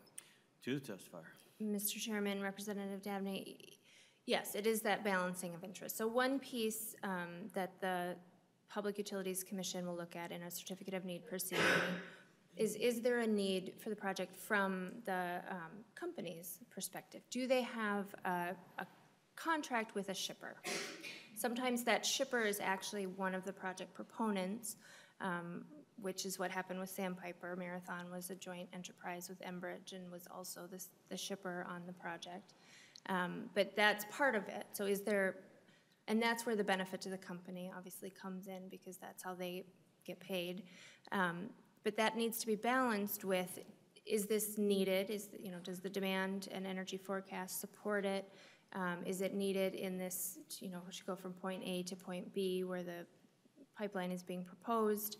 And then, like I said, there's this risk to the state of Minnesota versus the benefit to the state. Does it serve the customers? um, And does that service outweigh the inevitable risk of this project? And so all of those balancing um, determinations are made within the certificate of need proceeding. Representative Dabney, follow-up. Uh, Thank you, Mr. Chair, and I'll- and I'll, I'll finish here. Ms. Currie, thank you. I'm just struck by this morning's hearing where Representative O'Driscoll talked about the importance of having a regulatory framework uh, around the, the free market to ensure that the different interests are balanced out. And here, we have the same need for a regulatory framework to balance the interests, but we're, pro- the proposal is to remove that process and that balancing uh, of the, of the, the market and balancing of the, the community's interests. So, thank you, Mr. Chair. Thank you, Other Ms. member Currie. questions? Uh, Repres- Representative Sundin. Dabney is after that. Or, I'm sorry, Mahoney is after that. Thank you, Mr. Chair. Uh, I had about 45 minutes worth of questions here, so. Oh, good. No, uh, actually, I was, what, what I had intended to ask uh, Commissioner Roth how many uh, pipelines I had going through Carlton County, he might know, but uh, uh, I, I have several. Know, that's, that's the focal point for uh, uh, all the energy heading from Dakotas into Wisconsin. And I'm blessed with many, many pipelines and uh, many, many power lines as well to serve Duluth and Superior and, and beyond there, so.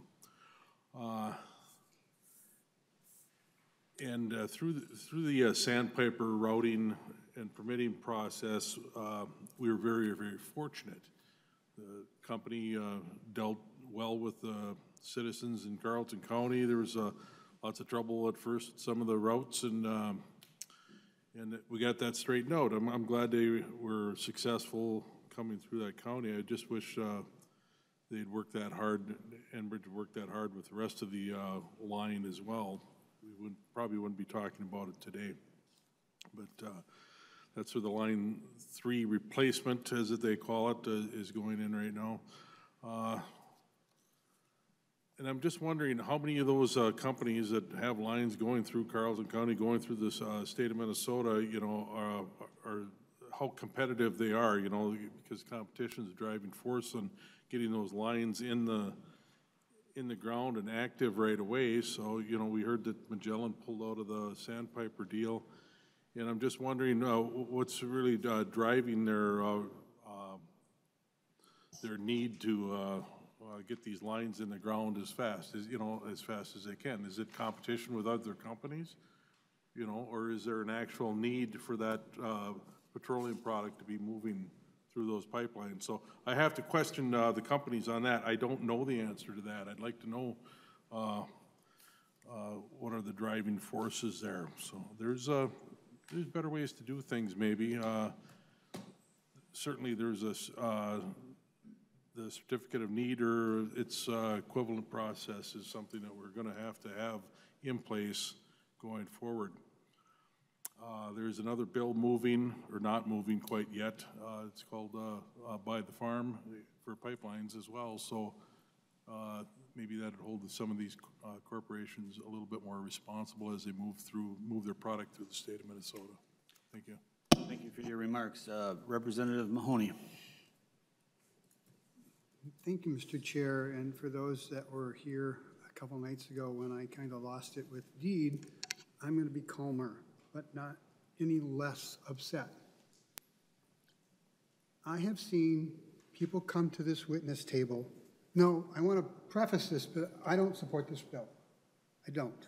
I think there's some big problems with our siting and our certificate of need issues and all the stuff that goes with a pipeline. But because of the lack of pipelines, and I think it's called economic racism, I think all these people that have testified, I would accuse you of economic racism. Because I now have four trains with at least 75 to 100 takers going by a place in my district, there's four low-income home groupings in my district. The pipeline, the pipe tankers go by each one of them. It goes by three schools.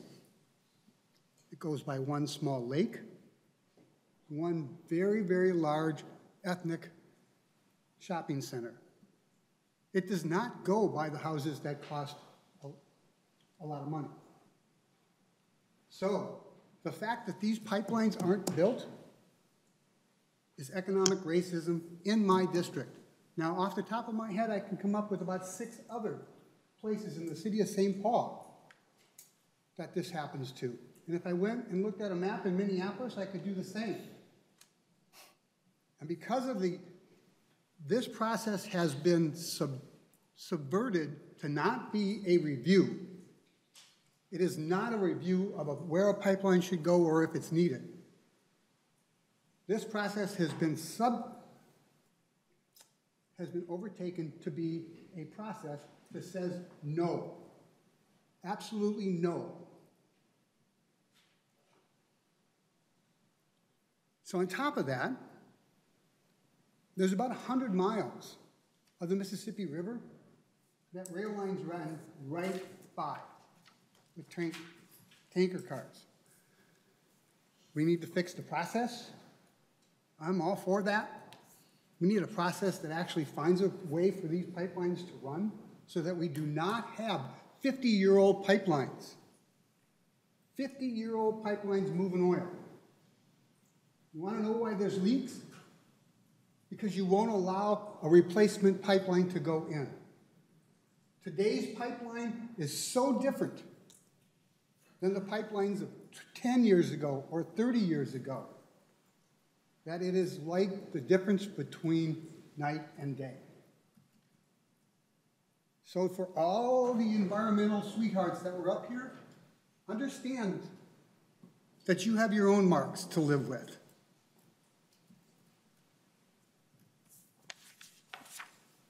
I'm going to stop now. Again, I don't, I don't think your bill does what it's, what it should needs, what it needs to do.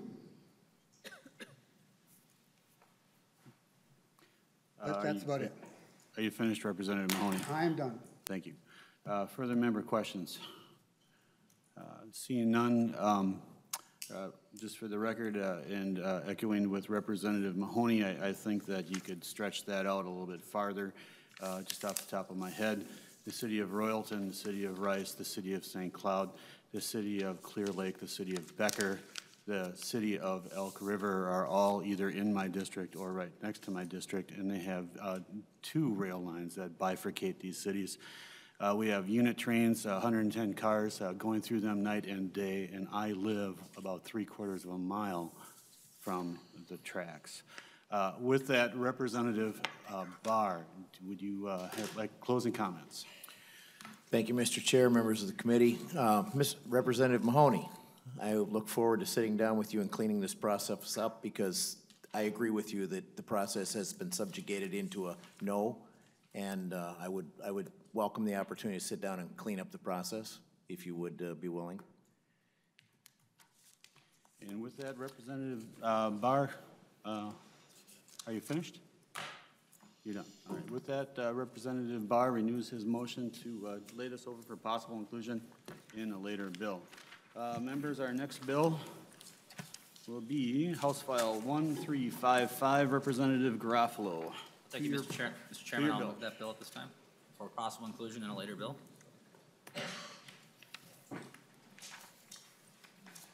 Representative Garofalo moves uh, House File 1355.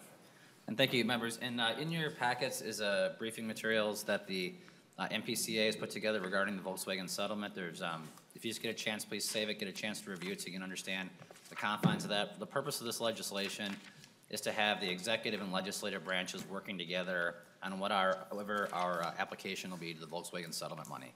Uh, Currently, the current position is, is that the executive branch could do this. They're interpreting this money as a gift. Uh, The department has had uh, good conversations with us. The purpose, again, is just to make sure that the executive and legislative branches are co-equal partners in this. Given the tight strike zone of what is allowed under the Volkswagen settlement agreement, I think it's something that we can accomplish.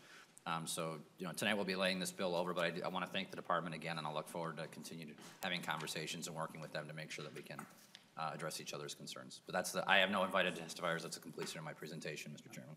Uh, Seeing that there are no testifiers, this is a public hearing. Uh, Representative Wagenius, uh, do you want to hold off until uh, we, public testimony is over? or- Sure. Okay. Uh, Seeing that this is a public uh, hearing, is there anyone from the public that would like to testify in favor of or voice concerns with this bill? Welcome to the committee. Uh, Please state your name for the record. Thank you, Mr. Chairman. Greta Gauthier, Minnesota Pollution Control Agency. Thank you for the opportunity to testify on House File 1355. Um, There are some background materials, as Representative, uh, Rep- Mr. Chairman said, um, handout and a PowerPoint that we won't take the time to go through tonight. Um, The bottom line is the court set this money up as a trust. Um, Part of the settlement that Volkswagen had to pay for cheating and polluting um, with their vehicles is about $14.9 billion penalty. 10 billion of that is directly to the people that bought the cars. Another 2 billion is for um, uh, low-emission vehicle infrastructure that Volkswagen is going to dole that out directly. And then 2.9 billion is what is available to states, Puerto Rico, and tribes. Um, And so Governor Dayton is in the process of filing the paperwork to become a beneficiary, so Minnesota become a beneficiary for this settlement. The court set up a trusteeship. It has named this trustee as the Wilmington Trust, a bank out of Delaware. Um, We have put in questions to them about how they're going to view various types of legislation. There are a couple different bills. You heard one earlier tonight. Um, We haven't gotten anything back yet, but they were just appointed last Wednesday, so it might be taking them a little while to get up to speed. Um, So we don't know how they're going to view various types of legislation, and- and we don't know how they're going to accommodate states with part-time legislatures like ours. Um, The timeline for the money is that once the court and the trustee finalize the agreement or the decree the court put forth last fall, from that point, 180 days, the states have to submit their plans. So we'll have till probably September, October. Um, Obviously, you won't be in session then, so we're, um, we're happy to work together um, with Representative Garofalo and others to make sure we get something that, that will retain Minnesota's eligibility for this money. That's our main concern. Um, And also, there's um, a colleague of mine from MMB who has some things to say about the bill as well. Welcome to the committee. Please state your name. Sure, thank you very much, and good evening. Eric Hallstrom, Deputy Commissioner at Minnesota Management and Budget. Uh, I'll be brief uh, in light of the time. I appreciate the opportunity to be here this evening. Uh, We've had conversations with the chairman as well as uh, colleagues in the Senate on legislation to, uh, to hopefully achieve uh, the mutual interests of the executive branch and the legislative branch in uh, taking advantage of the resources that are going to come from the, the, the trust agreement. Uh, MMB's main concern is that we have legislative solution that will give uh, clear and unambiguous authority so that we can make the appropriate certifications as part of the uh, uh, trust. uh, The, the trust agreement lays out a certification process. Uh, We're concerned about any legislation, um, we've talked about a two-step process, but if we don't get the second step of the process, if we have legislation that's contingent upon future legislative action, it could threaten our ability to make the appropriate certifications under the trust. So uh, we've agreed to uh, work with the chairman and others. Uh, uh, Happy, uh, much of our testimony is, would relate to the earlier bill that the committee had heard uh, to ensure that we have a, a, a process in place that allows us to make those certifications. I know that some states, I think Utah in particular, has taken, actually the legislature is taking steps to ensure that there's no question about their executive branch's ability to use the money. So uh, we just would like to be in a place where we have, uh, uh, we are not at risk of, uh, uh, you know, missing our window. All right, thank you for your testimony. Any uh, other members of the public that would like to testify in favor of or voice concerns with the bill? Seeing that there are none, we will close the public testimony period. We'll open up the member questions. Uh, Representative Wagenius, you're up. Well, thank you. Uh, Mr. Chair, Representative Garofalo, I- I'm I'm glad you're working with uh, the administration. One of the things I noted, I did get a chance to read the um, uh, court's order, and it's very clear that the court is retaining jurisdiction in this case, and it has very specifically outlined what Minnesota or any other state can do or not do. It- How do you propose we go about finding um, peace in the valley? Chair Garofalo. Uh, Mr. Chairman, Representative Wagenius, my primary concern is that whatever uh, application is committed, uh, submitted for the settlement, that there be both legislative and executive buy-in. There's several different ways we can accomplish that. Um, There's been some track record in the past of similar, I'm told some legislative history that may provide a solution to us. I will admit that the bill right now is currently blunt, for- it's legalized blunt force trauma. I understand that. Um, But again, my goal is, all I can tell you is that I want the legislature involved in the decision. I do not want the executive branch acting unilaterally. I think they understand that, and I think we're working to address each other's concerns. Uh, Where this ends up between now and May, I'm really open-minded on it as long as that single concern is addressed. Representative Wagenius, follow-up. Well, between now and May, as we are discussing it, I, I'm hoping that it, this is not a private discussion, that it is a public discussion uh, that we're having. I, I'm not, I see propane as an outcome, um, but I don't know what the other outcomes are. Uh, Chair wh- Why we, why, I don't understand what, what we're aiming for here. Sure. And and if I don't understand that, I don't know how we're going to get to peace in the valley. Chair Garofalo. Um, Mr. Chairman and Representative Wagenius, you know, the goal is that the settlement dollars require certain amounts of, you know, to, to correct the cheating that Volkswagen did to reduce pollution. There are several solutions that can be implemented. We heard one of those solutions tonight, uh, but also uh, one of the alternative um, venues that are available are clean diesel. I, I've, as I stated in a previous committee, my concern is that a stakeholder process could be dominated, for example, by retail establishments that want to have energy charging stations put in front of their stores, not because they are actually used to charge vehicles or reduce pollution, but it's used as part of their market branding. Right? And so that's really not a solution that I think is going to have a reduction in pollution. My focus is I want to see solutions that are the most cost-effective way of reducing pollution across the entire state. Not necessarily what works for me or what works in the metro area, but works across the state for pollution mitigation. And I'm confident we can do that. Again, it's a tight strike zone, Representative Wagenius. We can't just spend this money on anything. And so the solutions are limited, but I just want to make sure that we have uh, co-equal branches, branches of government both being involved in the decision. Representative Wagenius, follow-up.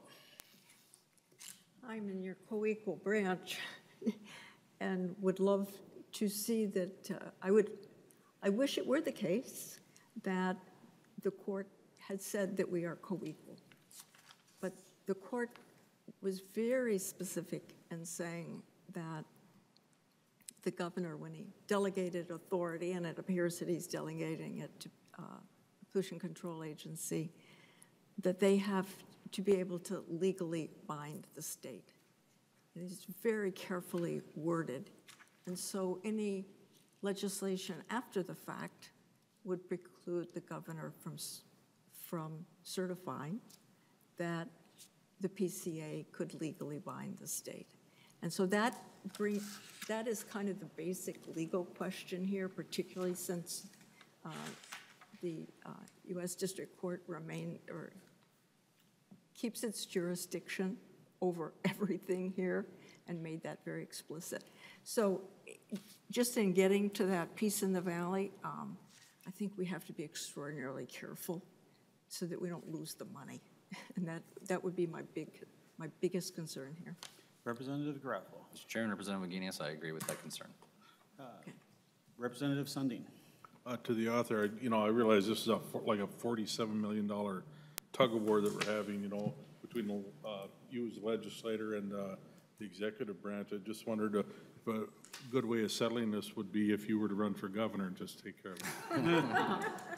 Chair Garofalo. Mr. Chair and You are Representative not Sundin, required I- to answer that question. Yeah, I, I could never win. I could never, I could never win, Representative Sundin, sorry. Something about a fork and an eye, I I recall. believe you, I believe you. Plus, I already signed up with the Thissen for Governor campaign, so it's too late for me. All right. Uh, Any further member questions? Uh, Seeing none, uh, Chair Garofalo, you get the final word. So I would, uh, I look forward to working with the department on this and addressing each other's concerns. Right, With that, uh, Rep- uh, Chair Garofalo uh, renews his motion to lay over House File 1355 for inclusion in a possible future bill. Uh, Members, uh, that's it for bills. Uh, Chair Garofalo, did you have any announcements for the committee? Uh, no, we'll just see everyone tomorrow. Thanks again. With that, members, we are adjourned.